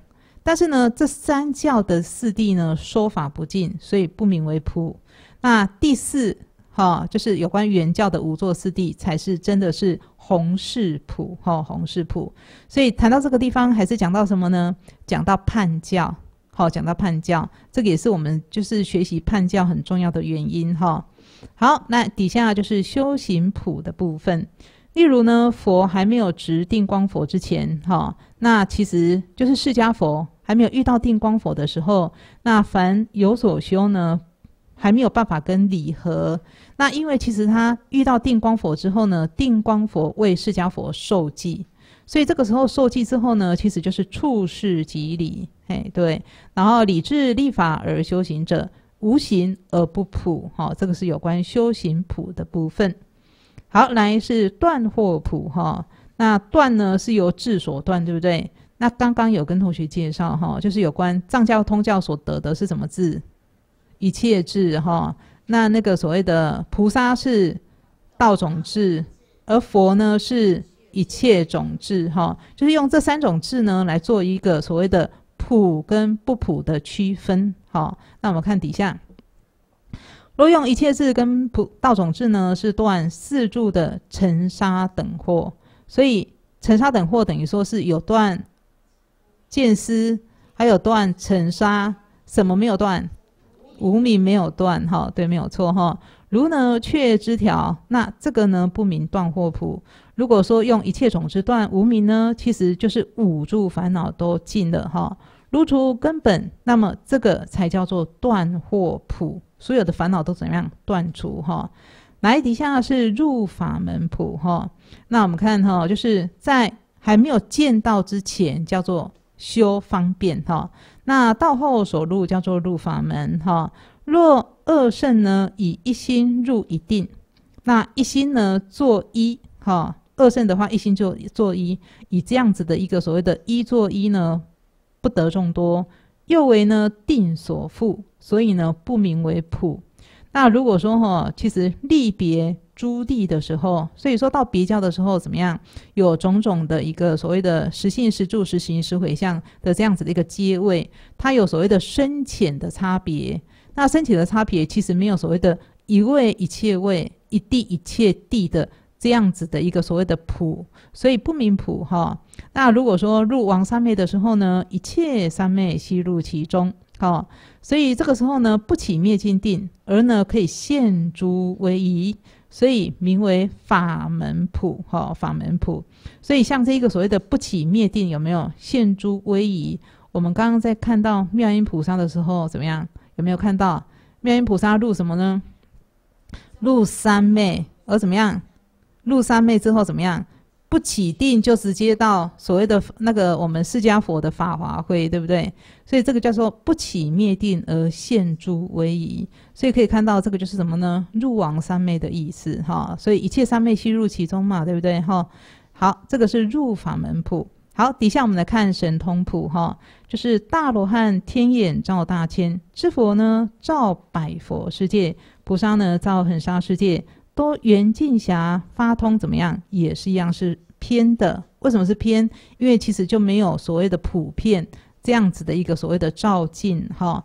但是如果说是原实相修的时候呢，可以一发一切发相似的一个神通，如我们哈。前面所说的，更何况是真神通，而呢非普呢？哈，所以这个地方也可以知道，像这一个所谓的一发一切发呢，其实也是一样，是属于原教的这样子的一个所谓的神通力量。哈，神通力量。好，底下呢是方便普。哈，那方便普呢，其实有两种，就是道前的一个方便，那这个是修行中设；道后呢，其实有两个。哈。那哪两个呢？一个是法体，一个是化用的部分。哈，那我们看一下这个法体的部分呢，像我们刚刚在入法门当中，其实就有讲到法体哈。那化用呢，其实就是如什么呢？就是如经所说哈。那这个化用主要是利益众生呐哈，斗斗机利物，然后呢称是缘离，一时可以圆片哈。那虽然是有种种的一个所谓的运用哈运为，因为它以那一个所谓的运用的方式来利益众生嘛。但是呢，于呢法性的实际怎么样？没有任何的增减，所以这个才是可以称得上是方便普的哈，方便普的。所以像这种方便普也是一样，是一样是展现菩萨那一个所谓的任运自在的这样子的一个形貌哈，这样子的一个形貌。好，底下是说法普哈，能以一个妙音，那一妙音，然后称十法界之机哈，然后随其一类呢。具令解脱，哈，就是可以怎么样？可以相应十法界众生的根基，而随众生的类别怎么样？让这些众生可以解脱，如阿修罗琴，然后呢，故名说法普，哈。而这个哈所讲的还是一样，怎么样？任运而为的这样子的一个所谓的自在跟所谓的不可思议力量，哈。所以像这个阿修罗琴就是怎么样？那个自然而然怎么样？它可以弹。意思是这样的哈，好，来成就众生普，就是一切世间跟出世间所有的一个事业，都菩萨所为哈。洗井造造舟哈，凿井造舟哈，以及神农常要云印日照，利益众生，乃至呢利益一切的一个贤圣，是教利喜，可以令入三菩提哈。那这一个部分呢，其实就是属于成就众生普的。这样子的一个部分，哈，就是普遍呢，哈，利益所有的一切的一个贤圣跟所谓的众生这样子，供养诸佛普，哈，若作外事供养，那么其实就是以一时一时一时一时一花，还有一香，普遍供养一切佛，而呢无前无后一时等供，于一尘当中呢出种种尘，亦复如是，哈。那如果说做内观呢？就可以用圆智，可以导众生之行，哈，所以这个圆智怎么样？可以圆满利益众生嘛，哈，所以圆智名为佛，众生呢资圆智，那这个呢其实供养佛，哈，那众生怎么样供养佛？就是资我们的这样子的一个圆圆智，怎么样的一个资源智呢？就是不断的修行功德跟供养，好，所以资源智呢就是供养佛，如果行之于智。不明呢，就是供养普哈，就是我们其实没有资源智，知什么呢？如果说知声闻哈，知那个菩萨而已，那么其实就不名为供养普啊哈。所以这个还是一样是导向所谓的缘智之佛，这个才是属于供养普的一部分哈。所以众行资源智是名供养普哈，供养普。好，这个是有关有外事供养，还有什么呢？内观的部分。所以这个都是什么？可以。资助我们道业的哦，好，可以资助我们道业的，这个其实也是一样，是很重要，很值得我们去好好的去了解，好好的去了解。好，底下呢是有关门的部分，哈，门的部分。门呢，其实有什么呢？从甲入空，哈，那空呢通，而呢甲瓮，哈，那还有一个呢，从空入假，假通呢而怎么样？空瓮。同学知道那个 “on” 的意思是什么吗？“on” 的意思就是阻碍的意思，好，阻碍的意思。而这边呢，其实有两个词，一个叫做从假入空，一个叫做从空入假。那必须要说哈，这个两个假是不一样的，好，这两个假是不一样的。为什么呢？因为从假入空的那个假是属于世间的因缘假。而从空入假哈的那个假，其实已经怎么样？已经是菩萨从空入假，要怎么样施全行而教化众生的，所以那个假不一样哈。大概先看这样，我们等一下再看一个图哈。所以偏通则非普，然后瓮呢故非门哈。所以这个普跟所谓的这个门，因为有阻塞有偏，所以就不是我们所要讲的这一个普门的这个门的意思。而呢，在所谓的中道非空非假，那可以正通实相，双照二谛，所以名为普哈。所以正通故名普。那普门圆通意呢，其实有无量。略举其实类，那么其实就可以知道哈，那就是前面有什么呢？十双之后什么呢？有五支哈。那此品由是普现三昧，化他流通哈。这个其实就是在讲到有关我们那个普门品的时候，还是一样跟普现色身三昧的药王菩萨品。妙音菩萨品，还有普门的这三个是怎么样？都跟普现色身三昧有关系，而且都是什么呢？化它流通，好，化它流通。这个其实就是等于说，我们在看经文的一个所谓的前行哈的这一个部部分，要先把它认知跟了解清楚。那刚刚讲到从假入空跟从空入假哈，同学可以看这个图哈，我稍微做这个图哈，让同学稍微理解一下了哈。这个当然不是属于我们天台的空假中的一个那个三级的一个圆观的部分，不是哈，不是。我主要是要让同学知道，其实。甲其实是有两个甲，我们常常在讲到有关甲的这样子的一个部分的时候，同学可能说甲到底要如何去理解呢？哈，我倒觉得哈，同学可以理解甲是有，就是甲有的意思啊。为什么是甲有？因为像比如说世间啊，世间我们看到的任何的那个甲，其实都是有的意思，但是这个有就是假的。不是真实的，哈，不是真实的，所以呢，其实第一个假其实就是因缘假。那刚刚有说嘛，像世间的任何的一个法，就是人呢，有没有桌子啊、椅子啊这个部分，包括什么呢？我们的心法、烦恼，这个都是假的。好，这个都是假的，但是呢，其实就是一般的众生会把它认为是真的，而且是真实有这样子哈。而呢，进入到空的时候呢，其实就是什么呢？有两种方式。好，刚刚其实有跟同学介绍，就是什么呢？吸空跟体空的方式。哈，吸空跟体空的方式，一个是可以用分析的方式入空，哈，一个呢是可以用般若智慧的方式怎么样？观照体达空哈，而这个呢，其实到空的时候，其实就是我们所认知的成就圣者哈，成就圣者，不管说是出国到四国，都是属于成圣，从凡入圣哈，从凡入圣。而呢，从这个空呢，在进入到这个假的时候，其实就是什么呢？就是我们其实从前面有讲到现在的从空入假，就是什么呢？菩萨施权化物的这样子的一个所谓的。实实践哈，这样子的一个实践，所以这个假哈，其实就是什么呢？就是菩萨其实也是一样哦。他再一次的如什么呢？如所谓的眼睛闭起来，眼睛闭起来就好像是空，他看不到所谓的任何的一个法，他认为法都是什么呢？聚集都是空的。这个时候，他再把眼睛打开，所看到的这个假，其实是什么呢？是跟众生一样看到的是一个东西，但是他不会。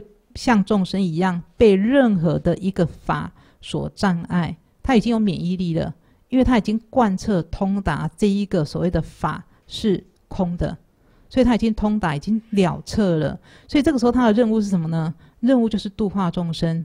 所以菩萨在把眼睛打开的时候，哇，那个时候要非常非常的感恩，好，因为菩萨已经怎么样，能够感众生之所同感，好，所以众生有病，所以菩萨有病。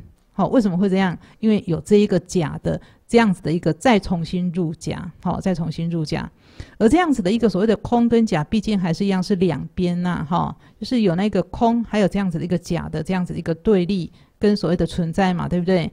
而这个时候呢，其实要跳脱空跟假，其实就要进入真正的所谓的非空非假的这样子的一个圆满中道的时候，其实就要抛除到两边，哈，进入到什么呢？非空非假。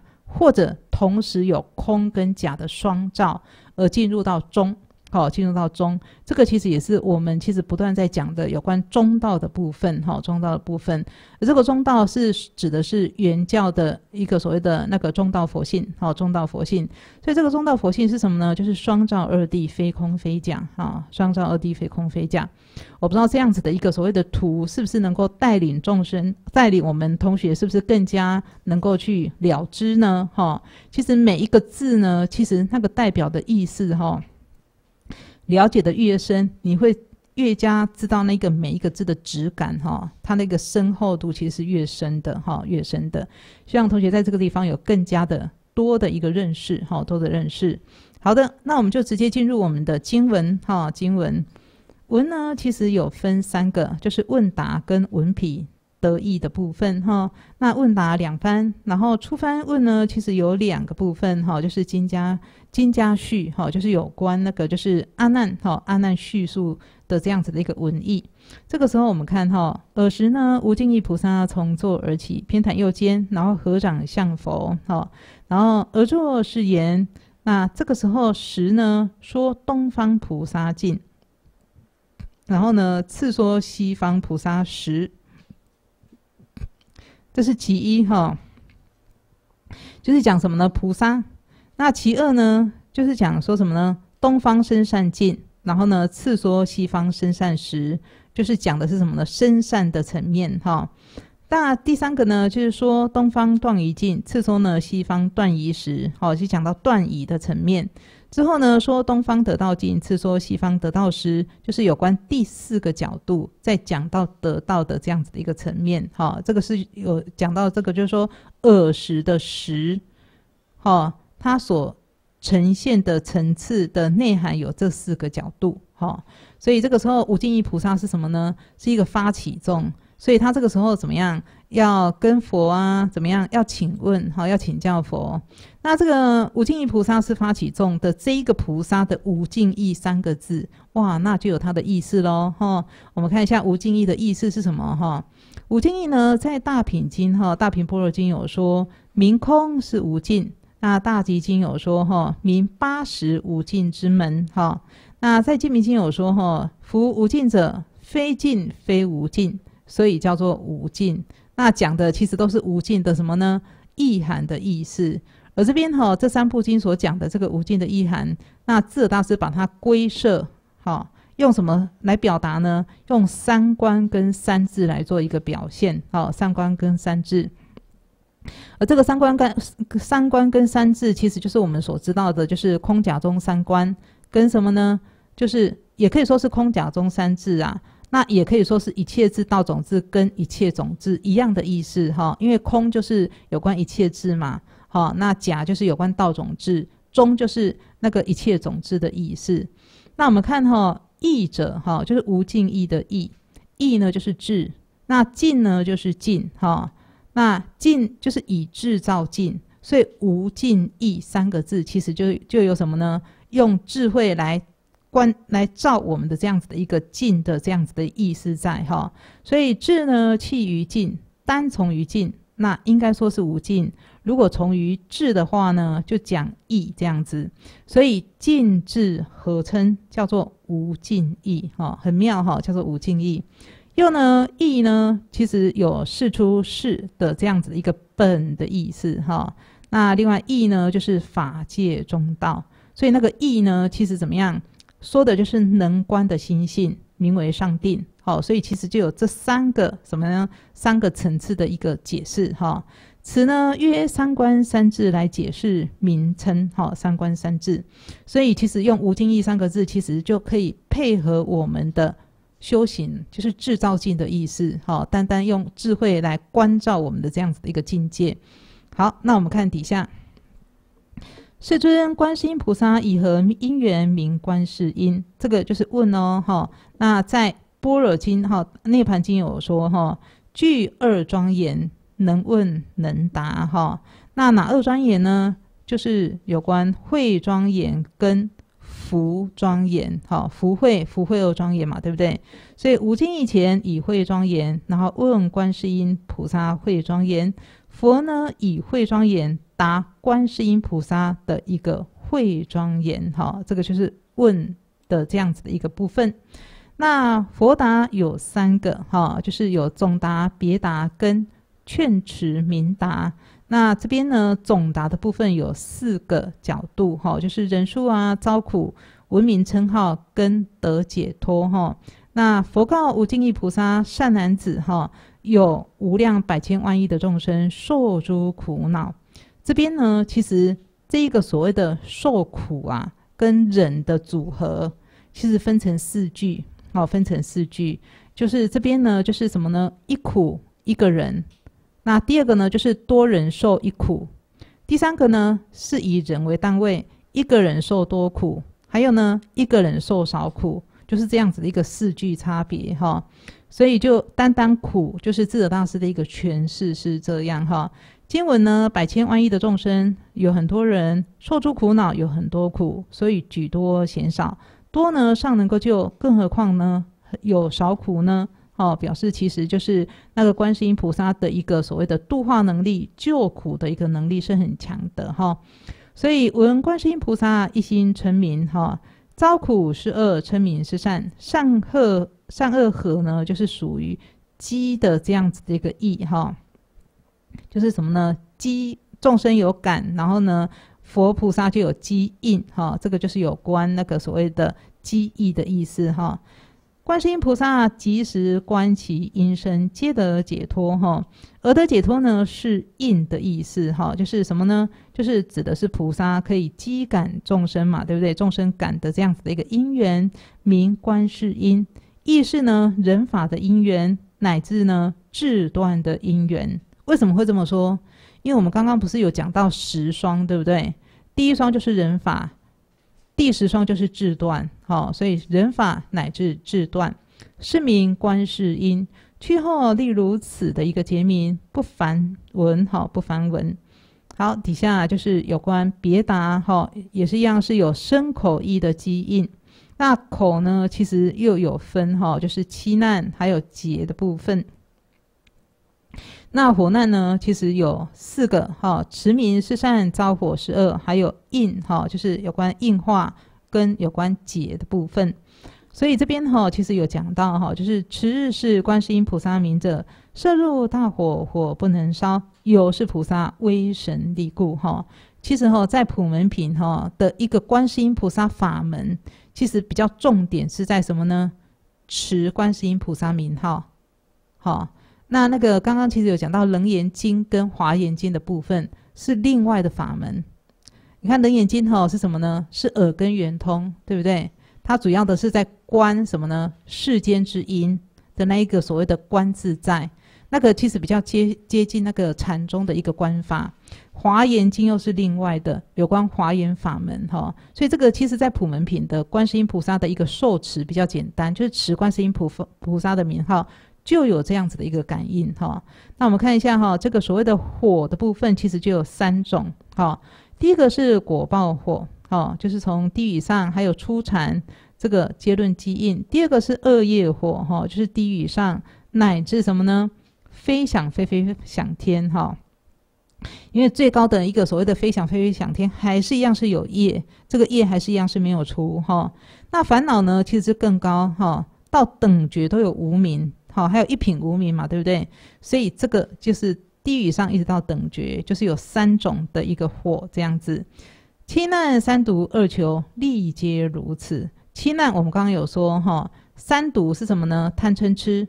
二求就是等下经文会出现的求男或者是求女，这个都是什么呢？观世音菩萨在应化众生的时候所那怎么样？那顺于众生的一个愿求哈。此意既广，可以一之，不可闻记。哈，那底下呢，其实就是有关什么呢？观世音菩萨应，就是怎么应现度化众生救苦的一个所谓的例子。所以像这里有大水所漂，还有入于大海，以及什么呢？扭卸枷锁，减系其身，怨贼啊，哈，这个是等等的一个所谓的七难。还有什么呢？三毒贪嗔痴，哈，贪嗔痴。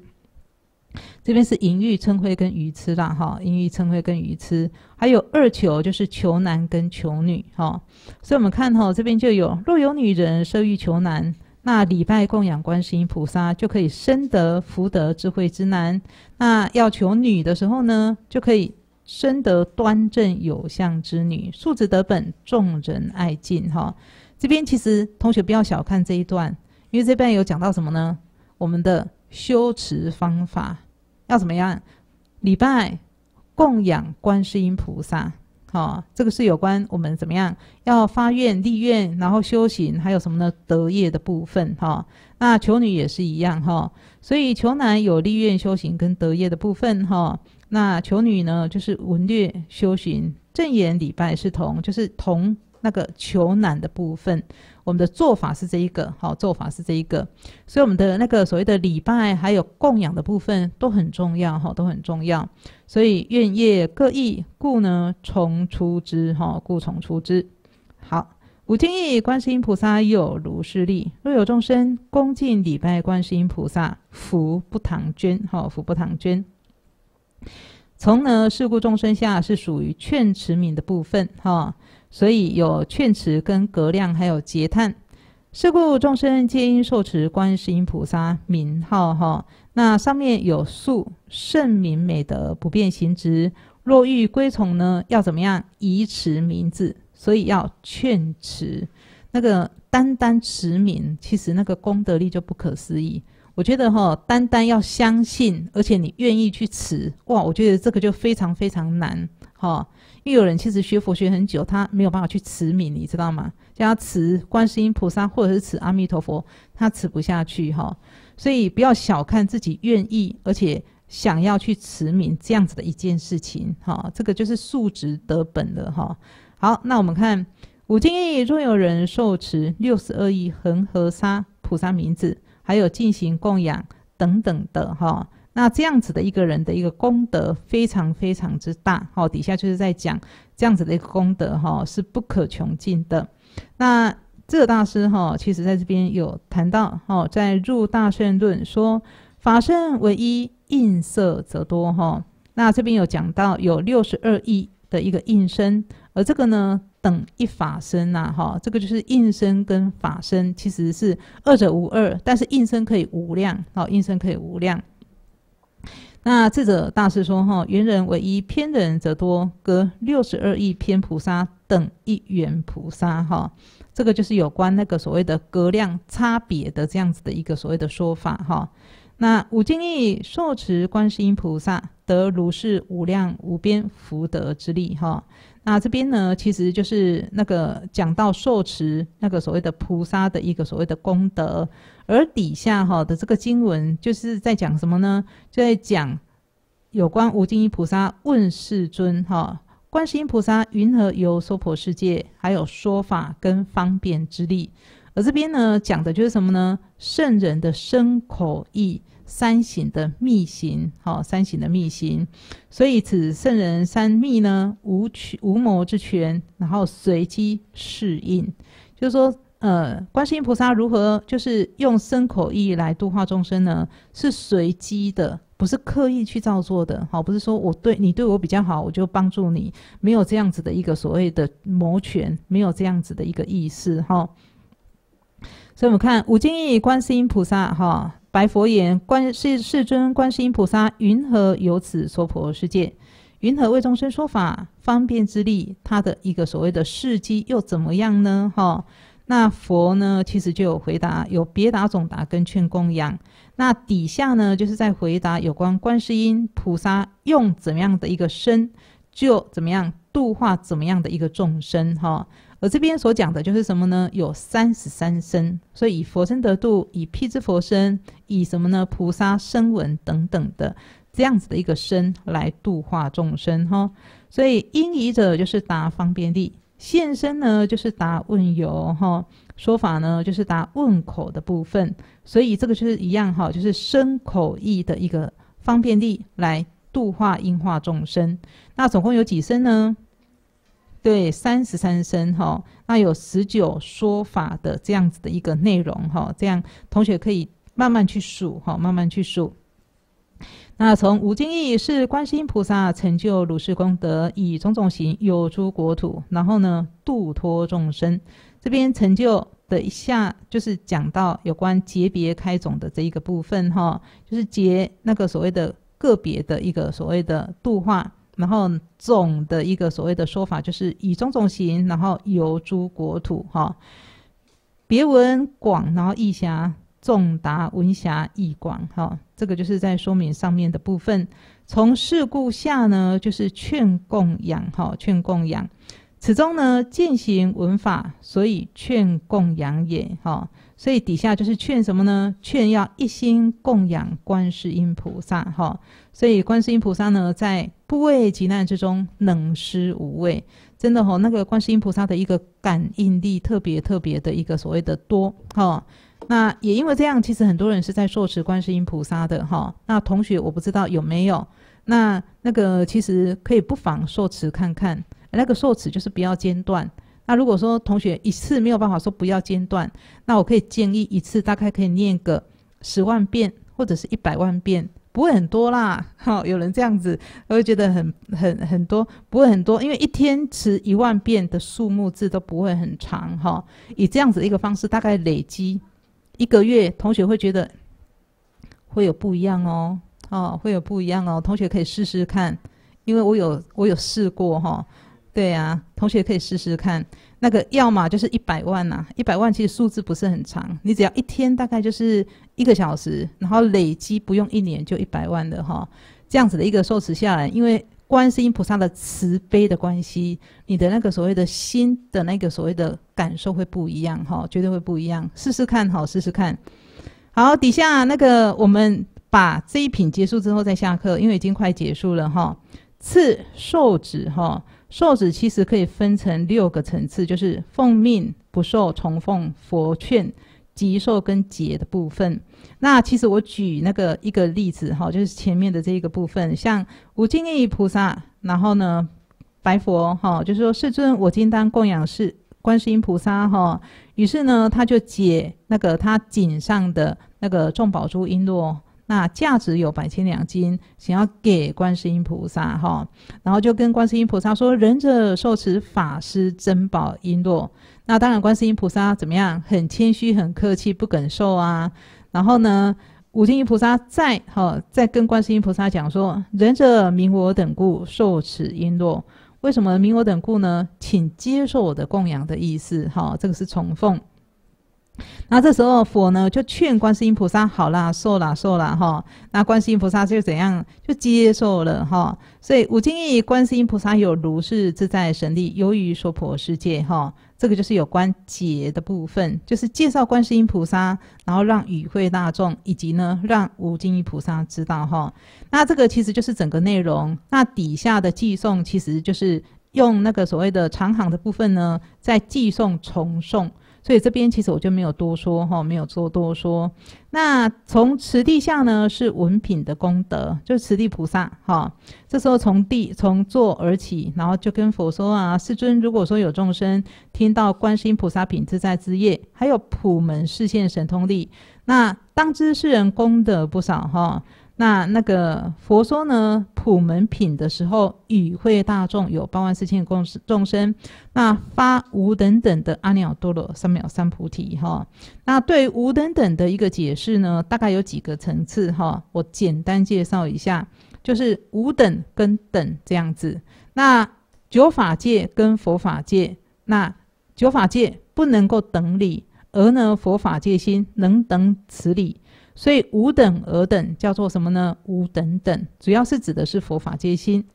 又呢，毕竟的理是无等的，出缘毕竟理而发心，可以等于理，所以是无等等。哈，那另外呢，心跟理呢是怎么样？不可得。将何物等何物呢？而言无等等呢？哈，所以心跟理是不可说。但是因为这个不可说，没有办法说嘛。但是为了要利益众生而说，所以说此等此理，所以叫做无等之等，好，无等之等。所以以上的这三个的一个解释，第一个是恒世，哈，为什么是恒世？因为一个是九法界，一个是佛法界，哈，是恒世。第二个是数世，为什么是数呢？是从出一直到毕竟，所以是数世。这一个呢是非恒非数世，哈，从心跟理。的一个所所谓的不可说的这样子的一个层次来介绍这个无等等，就是非恒非是。好，以上就是观世音菩萨普门品哈。那以这样子的一个方式结束。那我们下一节课，那直接进入陀罗尼品。同学下课。好，接下来我们进入下一品哦，哈。这品也是我们今天的第三品，哈，对不对？所以我们的进度其实也不会太快啦，哈。其实我们就是以这样子的一个概介的概略介绍的一个方式进行经文跟那个所谓的文具的内容，哈。那陀罗尼品呢，其实算是一个比较简单简短的，而且主要是在讲那个咒语的部分。那咒语其实就是讲的就是各个菩萨以及呢天人大士们。乃至呢，就是一些罗刹，他们其实对于有关诵持《法华经》者会怎么样给予拥护跟保护，所以其实就可以知道说，其实诵持《法华经》哈有这么样这么样子的一个殊胜功用，在这个地方听到叫做什么？听到赚到哈，所以我们其实我们今天其实有办法听到那个。不管说是《法华经》的任何的一个所谓的呃品品目或者是品数的一个内容哦，能够好好的去运用，我觉得都是一个非常好的一个所谓的受持功能哈，受持功能。好，我们的底下来看有关陀罗尼品的部分哈。这边呢，其实什么是陀罗尼品呢？什么是陀罗尼？就是总持的意思。总持什么呢？总持我们的恶不要让它起，然后呢善善呢不要失去。就是不断在我们的内心上的一个善法不断不断的增长，好，另外呢又能够什么呢？遮除掉能遮能持，遮除掉我们的恶，能持我们的善，哈，人慈善其实就是从四悉檀上来讲，就是为人悉檀，能够遮恶的部分呢，其实就是什么呢？就是对治悉檀，好，就是所以为什么是其二跟其三，而其一就是世界悉檀的意思，哈。慈呢，能够遮恶边，能够遮边恶，能够持中善，这个呢，其实就是第一义西谈哈。这是有关这四层对于总持陀罗尼的这个意思的解释。重经呢，开遮不同哈，所以经的一个所谓的开跟遮不一样哈，就是有关它的一个所谓的开展跟所谓的遮除的那一个所谓的效果跟内涵不一样。有的是专用治病，如纳达居士哈。纳达居士是在文句当中有提到，但是在其他的一个经论，其实大家不知道从纳达居士是哪一个居士，但是我们其实大概用这样子的一个方式知道是治病，这样就可以了哈。或者呢是专护法，如呢此文哈，就是有关我们这一个文的陀罗尼品讲的就是护法的这样子的一个作用哈。或者呢是专用灭罪如方等，或者是通用治病。灭罪护经如请观音哈，请观音其实叫做请观音经，它的原文其实是还蛮长的，但是请观音经很重要哈。请观音经其实是有关天台忏法当中在行。飞行飞坐上面的时候，一个很重要的一个忏法，而这个忏法哈，从智者大师一直到宋代，一直其实都一直在宋词，以及在那个行这一个所谓的观音经的这样子的一个观世音经的请观音经的这一个所谓的忏法，它有仪轨，好，它有仪轨，而这边哈在讲的就是有关请观音经当中有讲到一个典故，就是当时哈其实有那个。一个国家叫毕舍离国哈，那里的人民突然得到一个非常非常奇怪的病，哦，那种病是怎么样？眼睛会出红色的血丝，耳朵会出什么呢？会出脓，会出脓。然后呢，他鼻子会流血，而且舌呢会没有办法发声音，以及呢，所吃的东西哦，即使带精致的入到口中会变得很出色，所以得到这样子的病，很像是瘟疫。那众医出束那个那个所谓的束手无策，那这时候大家就请教佛陀。那佛陀呢，就是请谁呢？请阿弥陀佛，请观世音菩萨，请大势至菩萨来呢救度众生。而主要是观世音菩萨呢，其实就是教众生持咒语。这个咒语其实就是在请观音经当中出现的。好，所以这边有说哈，或大明咒、无上咒，然后。无上名咒、无等等咒等等的哈，则非治病，非灭罪，非护经。或呢，就是那个若通方者，意呢阴间；若论别者，信呢须依经，物呢乖教。就是有通，还有什么呢？有别的这样子的一个所谓的方式来论这样子的一个所谓的那个内容呢？哈。好，那这个就是有关请观音经的部分。详细的，如果说日后那个摩诃子观那有读到的时候，看有没有机会对于请观音经可以多介绍一点点。那要详细介绍，要要读我们的那个请观音经，或者是请观音经的一个忏法。那对于这一个部分呢，才会比较多层次的深入的了解了哈。好，那我们其实就是往底下看，诸师或说作者，那是。鬼神王民称其王民呢，部落禁主哈，不敢为非，所以能够降服一切鬼魅。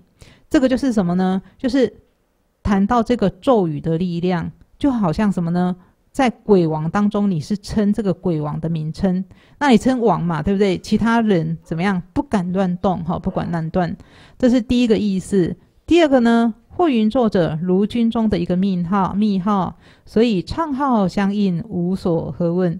若不相应的时候呢，就会直至罪；若不顺咒的时候呢，就会头破七分。哈，所以若顺咒的时候呢，其实就没有过失。所以这个就是什么呢？持这一个咒语的力量，就好像什么呢？你拿到军中的密号啊，大家都要顺从你，好，都顺从你这样子。好，那我们看第三层的意思，就是。或云作者就是密墨之恶，然后呢，恶字怎么样修习？所以这个呢，其实就有怎么样治恶的力量。这个对修行怎么样有很大的一个所谓的功用，对不对？能够调伏我们的什么的恶的烦恼。譬如违建从此国逃彼国，俄呢称王子，那彼国呢就以公子来干公主来妻之啊，多称男士。那有一名人呢，从其国来，主往说之。其人与主底下部分其实我不念了哈，我先把这个典故先说出来哈。这个典故是在讲什么呢？这个典典故是在讲有关过去的时候呢，有一个婆罗门，有一个婆罗门师，哈，婆罗门哈。这个婆罗门呢，他是一个国王的一个国师哈。那这个国师呢，其实他有五百个弟子。那这五百个弟子哈，其实是他所教的学生。那婆罗门他家呢，其实有一个奴婢。这个奴婢呢，其实他生了一个儿子，叫做迦罗奴哈，迦罗阿哈，迦罗阿。那这个时候，迦罗阿其实慢慢长大变成小朋友的时候呢，其实就会常常以奴婢的身份，会拿东西去给这五百个这样子的一个学生吃，这样子哈。那有一段时间哈，这个小朋友，这个所谓的。迦罗诃呢，跟这五百个这样子的一个所谓的学生处的不太好，就怎么样，就是起嫌隙了。于是他就离开他的一个所谓的婆罗门家，到其他国度去哈。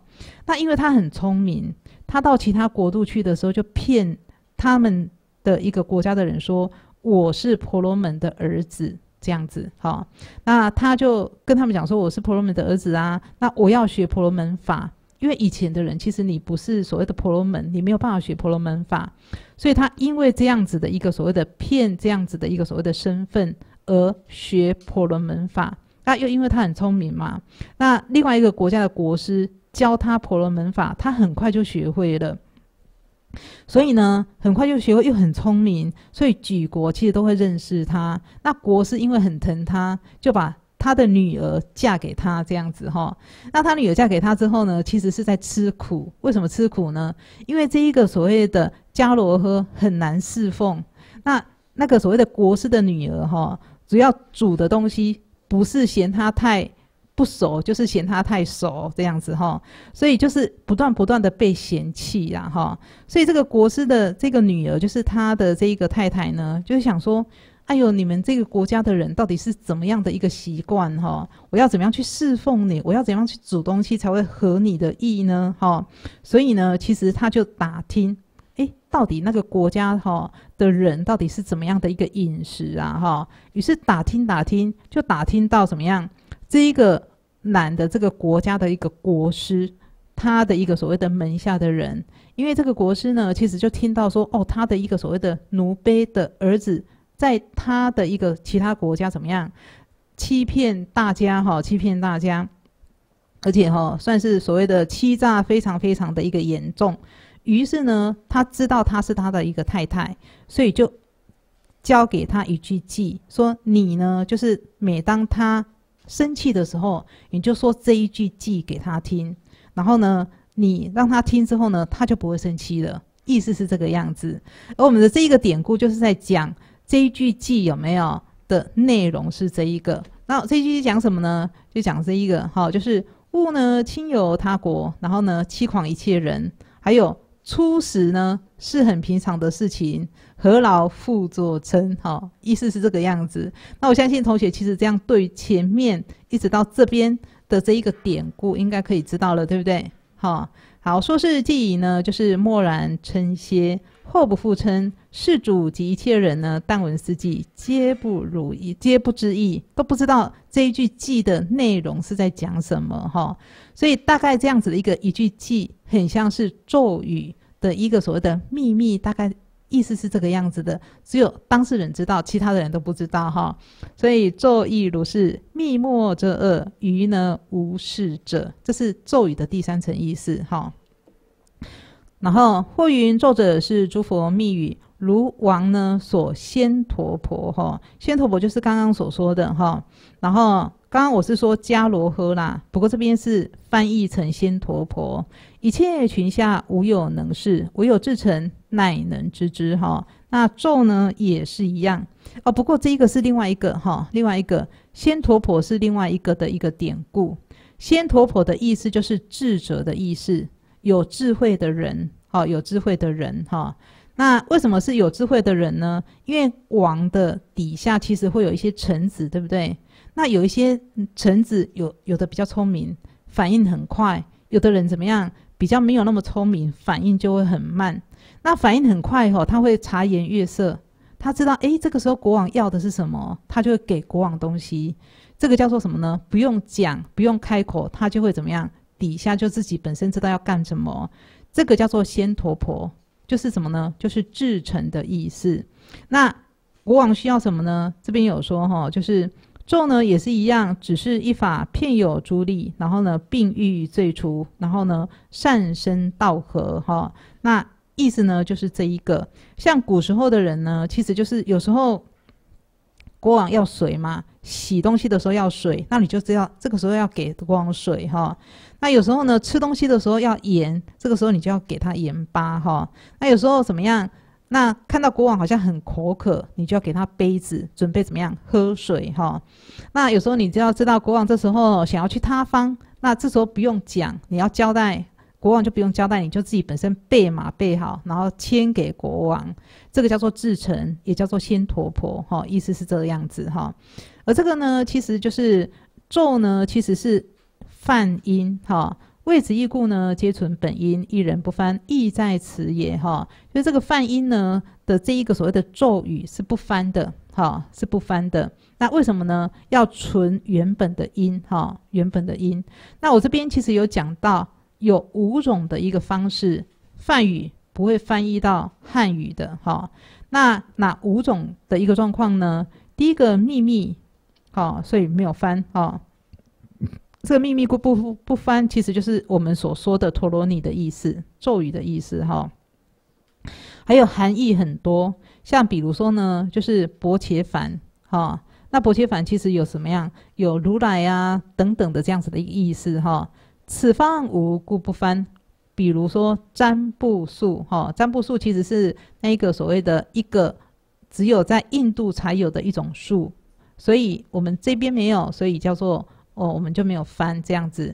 那第四个是顺古不翻，像比如说呢，阿耨菩提，好，阿耨菩提，阿耨阿耨菩提就是什么呢？无上菩提的意思，其实是可以翻呐。但是呢，为了要怎么样，要恭敬哈，要恭敬，纯梵音嘛哈。那后代皆仿之，主要是那个在一开始的人哈的那个法师没有翻哈，所以纯梵音其实反而会比较有那一个所谓的梵文的那个原意在哈。第五个是身上故不翻，像比如说般若哈，那般若尊重啊，人生敬，所以这一个五不翻其实是玄奘大师所提出来的哈，让同学可以参考一下。那有五不翻，有五不翻的一个原因在哈，原因在。二是红金喜多恼难哈，宇宙护之使道流通哈，这个就是有关为什么会有这一品哈。的一个所谓的出现的原因是在这边哈，用咒语护持持诵这部经典的人，那文呢其实有四个部分，第一个问持经功德，答甚多，请以咒护，然后呢文品得意得这四个哈，那我们一一来看，尔时呢药王菩萨从坐起，同学可以看到哈，后面这几品都跟药王菩萨有很大的关系，几乎每一品都出现，对不对哈？那刚刚其实也是一样，与会者其实也是有出现药王菩萨的名称哈。然后偏袒右肩，合掌向佛，然后跟佛说：“哈，就是世尊，若善男子、善女人，又能受持法华经者，如果读诵通力，如果书写经卷，得己所福呢？有多少的福呢？哈，那佛呢就跟药王菩萨说：如果说有人哈受持的话，哈，那他的福跟供养八百亿那有他恒河沙等诸佛哈，他的福的一个所谓的。”多跟寡差别在哪边？哈，那那佛就跟那个药王菩萨哈说，如果有人供养这些哈，那乃至哈跟那个所谓的乃至受持以四句偈读诵解义如说修行，那以这样子的一个比较哈，还比那个所谓的受持以四句偈读诵解义如说修行还要少哈，就可以看到读诵受持这一部经的功德力是如此之殊胜啊！哈。好，这个就是有关那个所谓的功德的一个所谓的多寡的比较。好，那底下其实就是在列什么呢？列有关咒语的出现。好，咒语的出现，所以这个出现有总共有五个那个所谓的受持者，好持这个那个所谓的持咒的人的一个说明。哈，分为是药王菩萨、勇士菩萨、毗沙门天王、持国天王跟十罗刹女。的一个所谓的说咒要来护持的这样子的一个所谓的说明，那药王呢，其实大概就是分四个，哈，分四个这样子的一个段落。那药王菩萨底下其实就是有三个，分别是勇士菩萨、毗沙门天王跟持国天王，哈。那这边呢，其实我大概稍微标一下，让同学知道，那那个所谓的呃，就是药王菩萨的一个所谓的四个段落，就是请说叹印嘛。就是尔时药王菩萨，那就跟佛说：“哈，世尊，我的今当与说法者陀罗尼咒以守护之。”就是请，好，那说呢，就是说这个咒的内容，好说的咒的内容。叹呢，就是说是释迦牟尼佛就赞叹药王菩萨。好，印呢，就是说这个陀罗尼的时候呢，宇宙众生多所饶益，就是什么呢？就是。印那个所谓的众生可以受得这一个利益的这样子的一个印说哈，这个就是有关药王菩萨。那底下其实就是勇士菩萨、毗沙门天王。这个呢，其实我就略过，没有再怎么样说明哈，略过没有再说明，直接来到有关十罗刹女的部分哈。那十女呢，有分列名，请说探视跟印的部分。那这边呢，其实就是有关罗刹女，总共有十个啊。那这个呢，其实也是一样，像刚刚有请说，就是在佛陀面前，然后来说这部偈，意思就是要护持读诵法华经者哈。那一样会赞叹，然后会发誓要护持护持，然后守护这一个。持法华经者，哈，持法华经者，所以哈，其实真的哈，如果相信那个所谓的受持读诵的功德力的人，哈，其实一定会怎么样？每天一定会做行门的功课，在这个地方等于说是护持自己本身的修行，对不对？好，所以在这个地方，我们有这样子的一个相信信仰的时候呢，其实就会不断不断的在修行、修行跟行门上下功夫，哈，下功夫。好，那我们看有关这十罗刹女的这个夜叉的解释。好，夜叉的解释，夜叉呢翻是劫吉鬼，那罗刹所翻，它的意思就是食人鬼，而这个当然就是属于有关鬼道畜生的部分。哈，那这两部呢是属于北方所领的众生。哈，那负担那是热病鬼，那吉遮呢是尸鬼。若人若夜叉具有此鬼，哈，具有此鬼。而呢，毕陀罗是赤色鬼，而犍陀罗呢是黄色鬼。那乌摩勒呢是乌色鬼，阿拔摩罗呢是青色鬼。后面所说的未想指的是，确实是不知道，因为这个部分呢名称还是从印度过来的哈，所以这边的一个所谓的鬼众的部分，可以说就是属于鬼道的众生这样子哈。阿离树枝堕地，法尔破为欺骗。是父母破身，是呢三逆的一个所谓的什么呢罪过哈？五逆罪当中的什么呢？三罪弑父弑母跟什么呢破身哈？那外国游者呢倒麻使生虫和压之，龟多之益肥，此过有也哈？就是外国就是在他方国呢，其实要做有的时候是不是要倒麻，对不对？他们那个马有没有那个要倒马之前，会让那个马有怎么样虫生出来之后呢，连同那个虫一起压压的时候，让那个油怎么样自由。有为什么压的时候，其实那个汁呢，其实就会怎么样，会比较肥比较多这样子哈。但是问题是以我们修行那个所谓的佛法者而言，这个杀生的罪过非常非常之多，因为生的那个虫很多嘛。因为一颗马就生了很多虫，所以一堆马的时候生的那个虫是无量的，你知道吗？所以当你那个所谓的压油倒麻的时候的人呐，其实也是一样，是以我们佛教土的眼光来看的时候，其实那个杀业就还蛮重的，哈，杀业蛮重的。所以此过有甚，哈，此过有，哈。斗称轻出重入，然后七道之由，尽是由小斗出大斗入。证明其背，思罪亦不轻也。哈，这个其实就是在讲那一个所谓的那个有过的这样子的一个部分。而底下呢，其实是在讲什么呢？讲商人，商人哈。那这叫什么呢？就是什么叫小小斗出大斗入？就是他用很便宜的东西买进来，然后怎么样用很贵的价格卖出去，而这样子的一个所谓的插入有没有？那就是在这个地方获取利益，好获取利益，所以这个叫做七道之友，哈，七道之友叫斗称清出重入，然后呢，这样子的一个所谓的那个所谓的有有一种类似于像那一个所谓的欺骗的一个手段来赚取钱呢，其实是最不轻的，哈，最不轻。而证明其背的意思，就好像是类似于说，像有被那个所谓的霹雳有没有打到他的一个背。而有背上有刻出那一个所谓的字，然后那个字呢，所呈现的那个字，其实就是类似于像这样子的一个字，有很不好的名声的意思，哈，不好的名声的意思。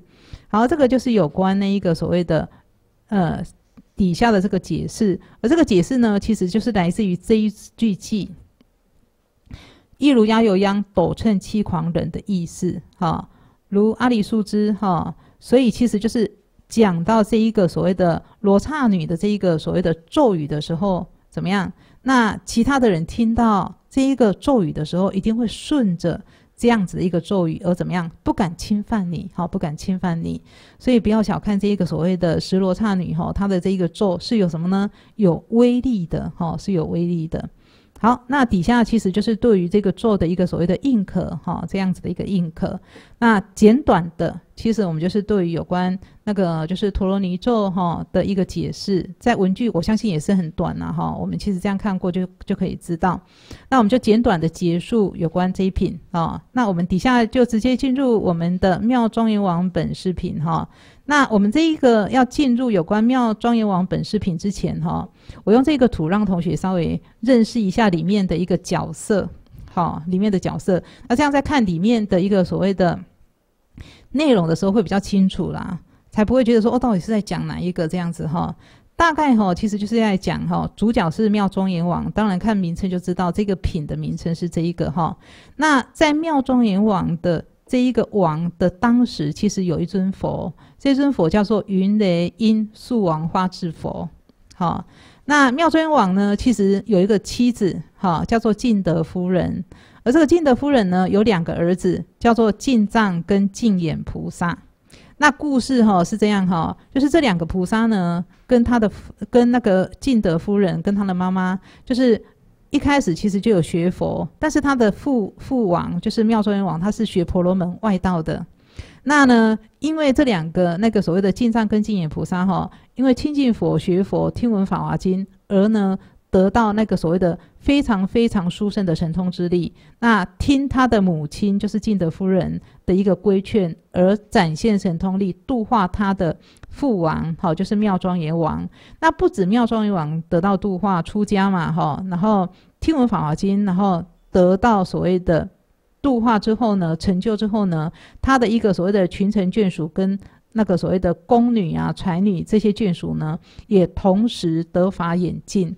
所以以上其实就是整个这个故事当中的一个所谓的细节跟人物是这样子的一个所谓的内容。而呢，刚刚所叙述的妙庄严王净德夫人，还有呢他的两个儿子净藏跟净眼菩萨，其实呢，术士是有一段一段，是有一段非常非常深刻跟《法华经》的因缘的。哈，而这个因缘就是我们在这个地方所要看的这个部分，就是智者大师为我们介绍的。哈，那我们看一下术士他们的因缘是什么呢？哈，这个很有趣哈，很有趣。那此因缘出于他经，哈，就是其他的一个经典有出现过，就是在过去世的时候的一个佛。的一个末法当中有四个比丘，他们呢其实对于《法华经》哦非常非常的有缘呐哈，极深因重。那虽然是卷书密教，甘露未沾，日夜翘尘，鬼客无望哈，就是他们在阅读《法华经》的时候，就是怎么样有这样子的一个殷勤，而而怎么样想要更深以。更深一步的去了解它，哈，更深一步的去了解它。而这个阅读的过程当中呢，是怎么样？日日夜夜，其实都是在怎么样？对于《法华经》展读当中的一个所谓的用功。然后他就很赞叹呐，说：“果非其人乎？地非其处乎？”哈，那就想到说，哈，在世间这样子的一个所谓的纷杂的一个环境当中呢，那静跟善是怎么样？是不一样，相乖离的嘛，对不对？有。静一定没有所谓的动嘛，有动一定是没有静这样子哈。那他们想要安静的怎么样，好好的修持法华经。所以他说：“知而求贤，尚须厌弃，况呢从道乎？”哈。所以其实，在道上的一个所谓的精进，一定要怎么样？要从所谓的安静的一个闲处这个地方怎么样密哈，找一个这样子的一个地方。于是呢，节气山林，至心佛会，然后幽居日积，衣粮丹沁。有待多烦，无时不伐哈。于是呢，他们就想说哈，如果要真的好好专心用功的话，那么我们干脆到山林里面去怎么样？去好好的专心用功啊哈。那这时候其实用功怎么样才会得力？就是他们四个人就这样子的一个想，于是就就结伴到山林里面去怎么样？好好的专心用功。那因为专心用功怎么样？你也是要衣食啊。那这个时候怎么办？那他们呢？其实就是怎么样？就是因为四个人都在用功，所以还是要每天都要吃饭哈。所以吃饭的时候其实就很麻烦哈。同学知道吗？其实如果要起食的时候，其实因为住在山林，要起食的时候就要走很远，对不对？所以你看哦，每一天当中哈，其实至少要走一次嘛。那你如果十天，你至少十巡酒饭，是至少你一天如果说日食一餐的话。十天好啦，我用功一天不吃好了，至少不可能用功两天都不吃嘛，哈。所以十天至少要吃酒吃饭，所以单单这样子的一个所谓的上山下山上山下山，其实就浪费很多很多的时间，所以就会磨消掉他们的什么呢？云霄之志，就是那种所谓的我立志我要好好的发奋，在法华经这个地方用功修行，那个所谓的志气会被磨消掉，哈。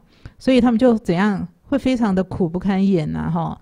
那这当中有一个人还不错，哈。哇，遇到这四个人当中有一个人有这样怎么样发心，哇，这样是很难很难得的，哈。他说：“吾等是穷，尚不出生，法当安济。”哈。他说：“我呢，就是怎么样？如果四个人同时都没有办法去安身的话。”那不如我呢，就是以我自己本身去起食嘛，来供养他们三个，这样至少我一个人没有得到，他们三个人可以成就啊！哇，这个人实在是太好了哈！所以我一个人，我一人者呢，舍此生力，四己所需。于是他就发愿，用我自己本身的力量，要供养他们三个得到。于是呢，正行门女以求功绩，自春至冬，然后周而复始，像图。好像奴仆一样供奉给大众，哈，供奉给他他们三个，而且甘苦无喜运，哈，也是很难得，哈，这样子的一个比丘。所以这三个被供养的三这三个完全怎么样？没有没有怎样？没有浪费。他们三个呢，展其成公园示范，所以一生当中就可以怎么样？已经就得意了，而且当无量之身。所以他呢，这三个人一生当中就已经成就了。但是供养他们的那个人呢？哈，那个人的状况到底是怎么样呢？哈，就很不幸哈，这个人哈，就是因为呢，常常跑到凡间，有没有宿舍人间哈？所以屡逢声色，胚气未火哈，难可护持。胚气未火的意思就是说，他的一个道行还不很不是很深，很很深固了哈。所以呢，在一次哦碰到国王出来的时候，那他看到呢车马怎么样众多，而且他的一个所谓的外观旌旗那个西鹤的哈，那旌旗非常非常的一个所谓的有张扬有收缩嘛，对不对？他的一个所谓的反动，于是呢心生动念，他喜欢上那个国王的一个所谓的状态，所以爱比光荣，功勋。功德熏修，随念受报，人中天上常得为王。所以，因为产生这一个随心的动念，哇，不得了了，怎么办？他就轮回哈，他就必须接受怎样的一个所谓的轮回业报的一个所谓的轮转。那虽然是接受轮转，但是因为他其实有修持护持的功力，所以呢，在所谓的人中天上的过程当中，他都是以国王之身而自居。但是呢，其实同学必须要知道一件事情，就是说，他这一个说身为国王，是因为他的一个福德所致。但是福会怎么样？会尽，所以福尽的时候怎么样？就怎么样？就完了，对不对？所以呢，福呢虽不至，那义呢有限，就是不断不断在人中天上当国王，虽然有很大的福气，但是呢，一直到。妙庄阎王的这一世，刚好是他福要尽的最后一生，所以这三个人知道了哈，因为三个人得到，所以他们三个人得到之后呢，就在一起商量，会而一之哈。我免凡龙凡呐，功有此王哈，就是我的功是因为我们三个人之所以会有成就，是因为这一个王的一个原因，而呢耽就是耽误了他自己本身哈，其实在国报当中轮回增长有为，从此时以。不复为王哈，所以从这一世之后呢，过去之后他不会再当国王了哈，会方成火坑，难良可救，良难可救了哈。信其味苦，正可开化，所以要度化他的时机就在这里哈。所以他们三个就开始哈，要怎么度化呢？那其中一个人就说：“此王左欲而复邪见啊哈，若非爱钩，无有可拔。”于是他们三个人哈，一个人就化作他的一个端正的一个夫人，另外两个人就化作他的一个聪明的儿子哈。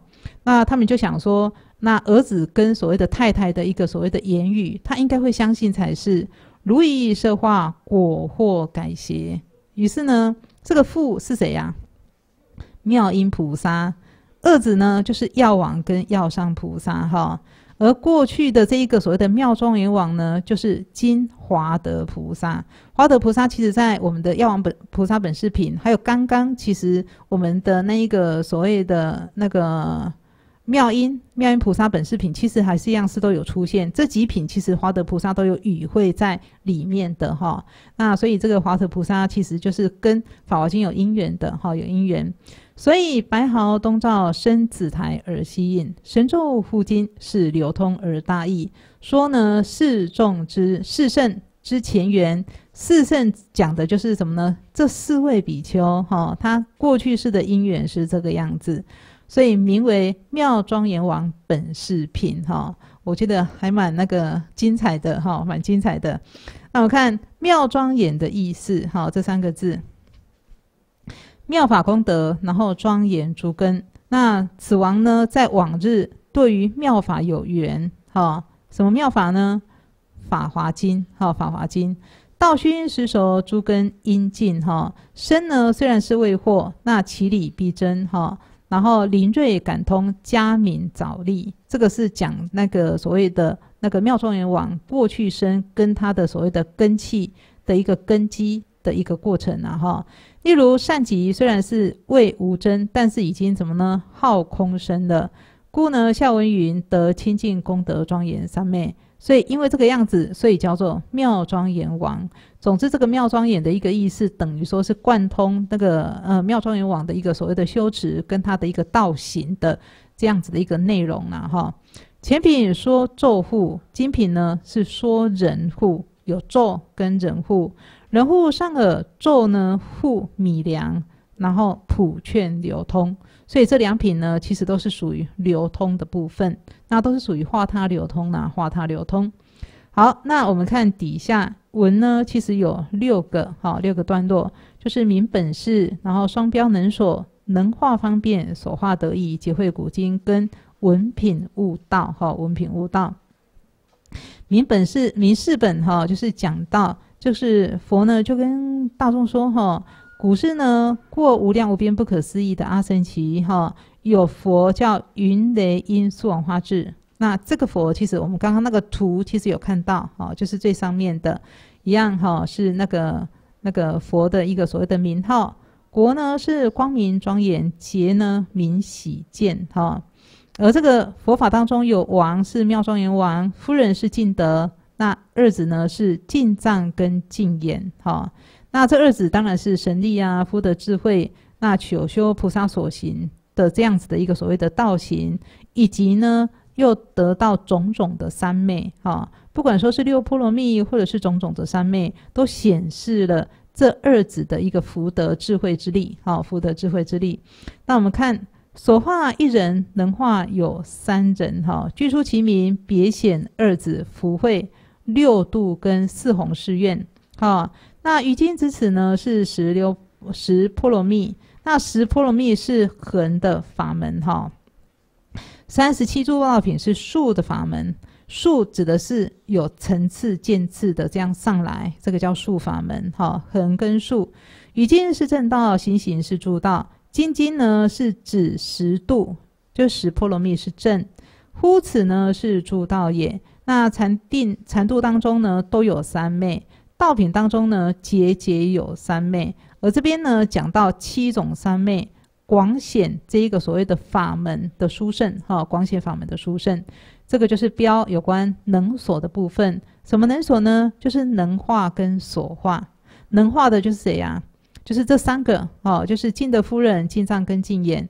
那所化的就是妙庄严王，哈，妙庄严王。那其实哈，这个叫做什么呢？福不唐捐呐，以这样子的一个供养，还是怎么样？非常非常有这样子的一个所谓的那个机缘被度化哈，所以数世以来的一个所谓的结缘哈，其实都怎样不会空的哈，不会空的。十呢，那个从十比佛下是第三的一个能化方便，十字，然后有论意跟现化的部分。尔时呢，比佛想要引导妙庄严王跟泯念众生，所以说了这一部《法华经》哈。那初时至哈，比佛出世常宣正法，余王圆弱，则能非其时。如果说法华的时候呢，那么就是什么呢？实质的意思。有时候哈，在这边其实还是要特别讲到，就是妙庄严王跟法华经的因缘。好，就是因为术士有因缘呐，什么因缘？为了修持法华经，为了他们要修法华经的人而供养他们，这个等等都是跟法华经的因缘哈。所以就是有关过去式哈，那因为有因缘，所以其实现在在讲法华经，其实也必须提到这个王哈，他的一个过去生跟法华经的一个术士因缘的一个所谓的呈现。文云比佛将欲引导说法华经。那这个呢，就是这一个意思哈，这个意思。第二个是论义，文中呢，子白母啊，那实质那母呢，就是令什么样？令这个子怎么样度化父亲？那他们这两个儿子就会怨呐，怨说啊，我怎么会生在邪见之家？哈，那什么邪见？就是婆罗门家，好，婆罗门家。那母呢就会责备他们呐，哦，你们要忧念你的父亲呐，要生这个所谓的邪见之家，也是你父亲自己本身哈的这样子的一个升起邪见，也要用悲心来看待他这样子哈。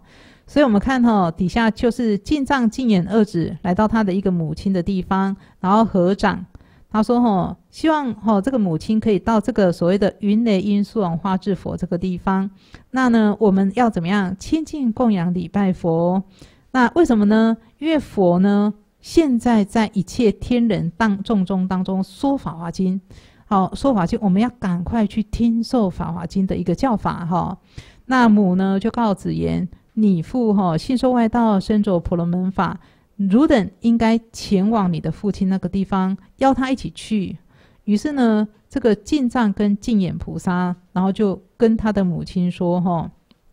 就怨呢，说我怎么我是法王子诶，怎么生在邪见之家呢？哈，那母亲就跟他的儿子说：“汝呢，应该要忧念你的父亲，然后现神变，让他怎么样亲近的一个见解，然后度化他，度他到佛所，然后呢听法华经这样子哈。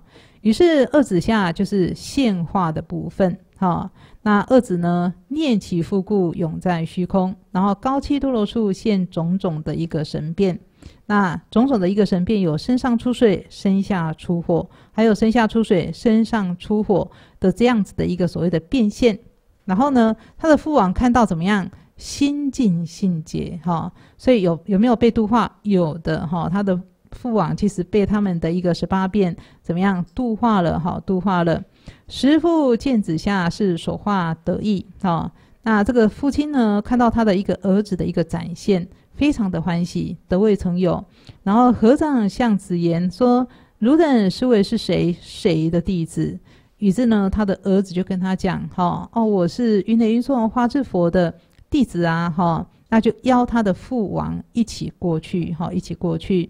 那父王呢，赌邪变，或一或二，狭而且漏嘛，哈，就是那个所谓的婆罗门哈的那个所谓的神变是有的。”但是神变怎么样？不广也不大，而他的儿子所现的神变是探未曾有的，所以因此呢，用这一个所谓的神变而度化他的父亲是成功的。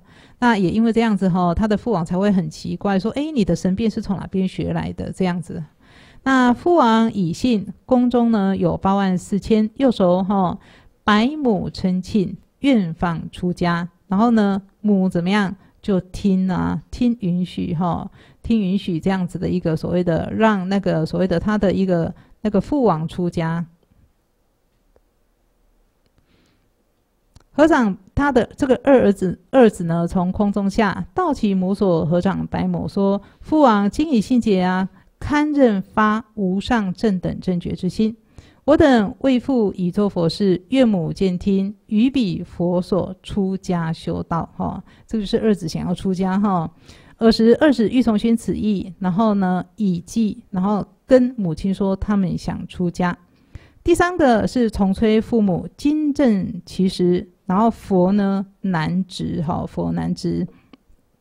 于是呢，二子白父母言：哈，善哉父母。哈，愿使往依云的因。速往至佛所亲近供养，那为什么呢？因为佛难值哈，那所以这个样子，那时呢欲难遇，所以我想要出家哈，我想要出家。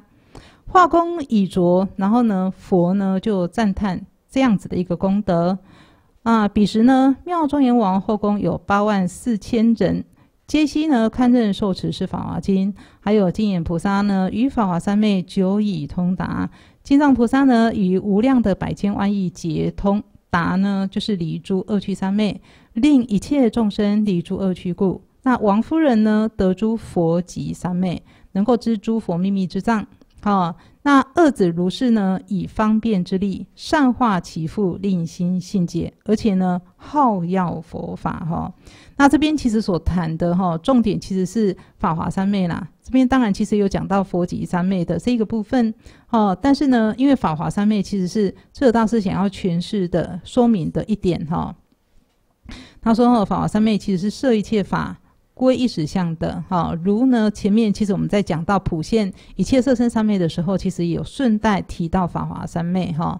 那离恶趣呢，就是一往以三途为恶趣。”具论有二十五有哈，就是二十五的这样子的一个所谓的那个三界的一个众生的意思，皆乖真起妄悉是恶趣，今呢皆离之，这个就是二十五三昧。好，二十五三昧，二十五三昧呢，其实就是破二十五有的意思，就是我们的一个所谓的三界烦恼哈，三界烦恼。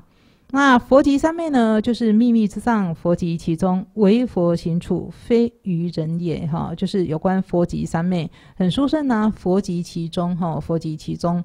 我们其实今天刚好是在这个地方，哈。那我呢，原本是要介绍那个同学更多认识法华三昧一点点的，但是时间好像是到了，我稍微提一下了，哈。那呃，就是今天想要完完全那个完整的，就是读这一部。这一品好像读不完，我用三点介绍法华三昧哈，就是有关第一个法华三昧的修持，第二个就是慧师跟智者大师修持《法华经》的法华三昧的过程。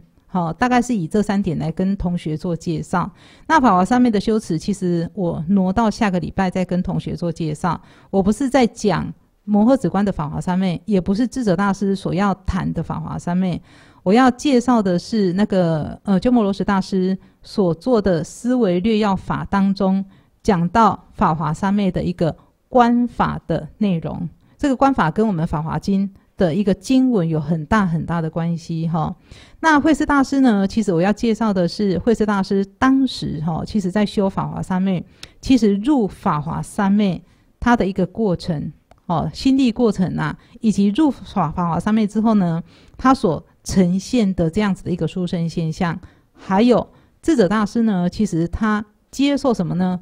慧师大师法华三昧的修法，因为他有接受修法。所以他能够入法华三昧的前方面变，而入的法华三昧前方便之后呢，他有展现怎么样的能力？这是我们下个礼拜要谈的哈。今天刚好是到这个地方，有点赶，我自己本身又觉得好像有一点急迫。那没关系，我在下个礼拜再稍微做一点点复习之后，我们再介绍法华三昧。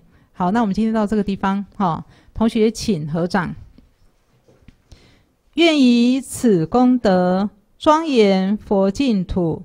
上报四重恩，下济三途苦。若有见闻者，悉发菩提心，尽此一报身，同生极乐国。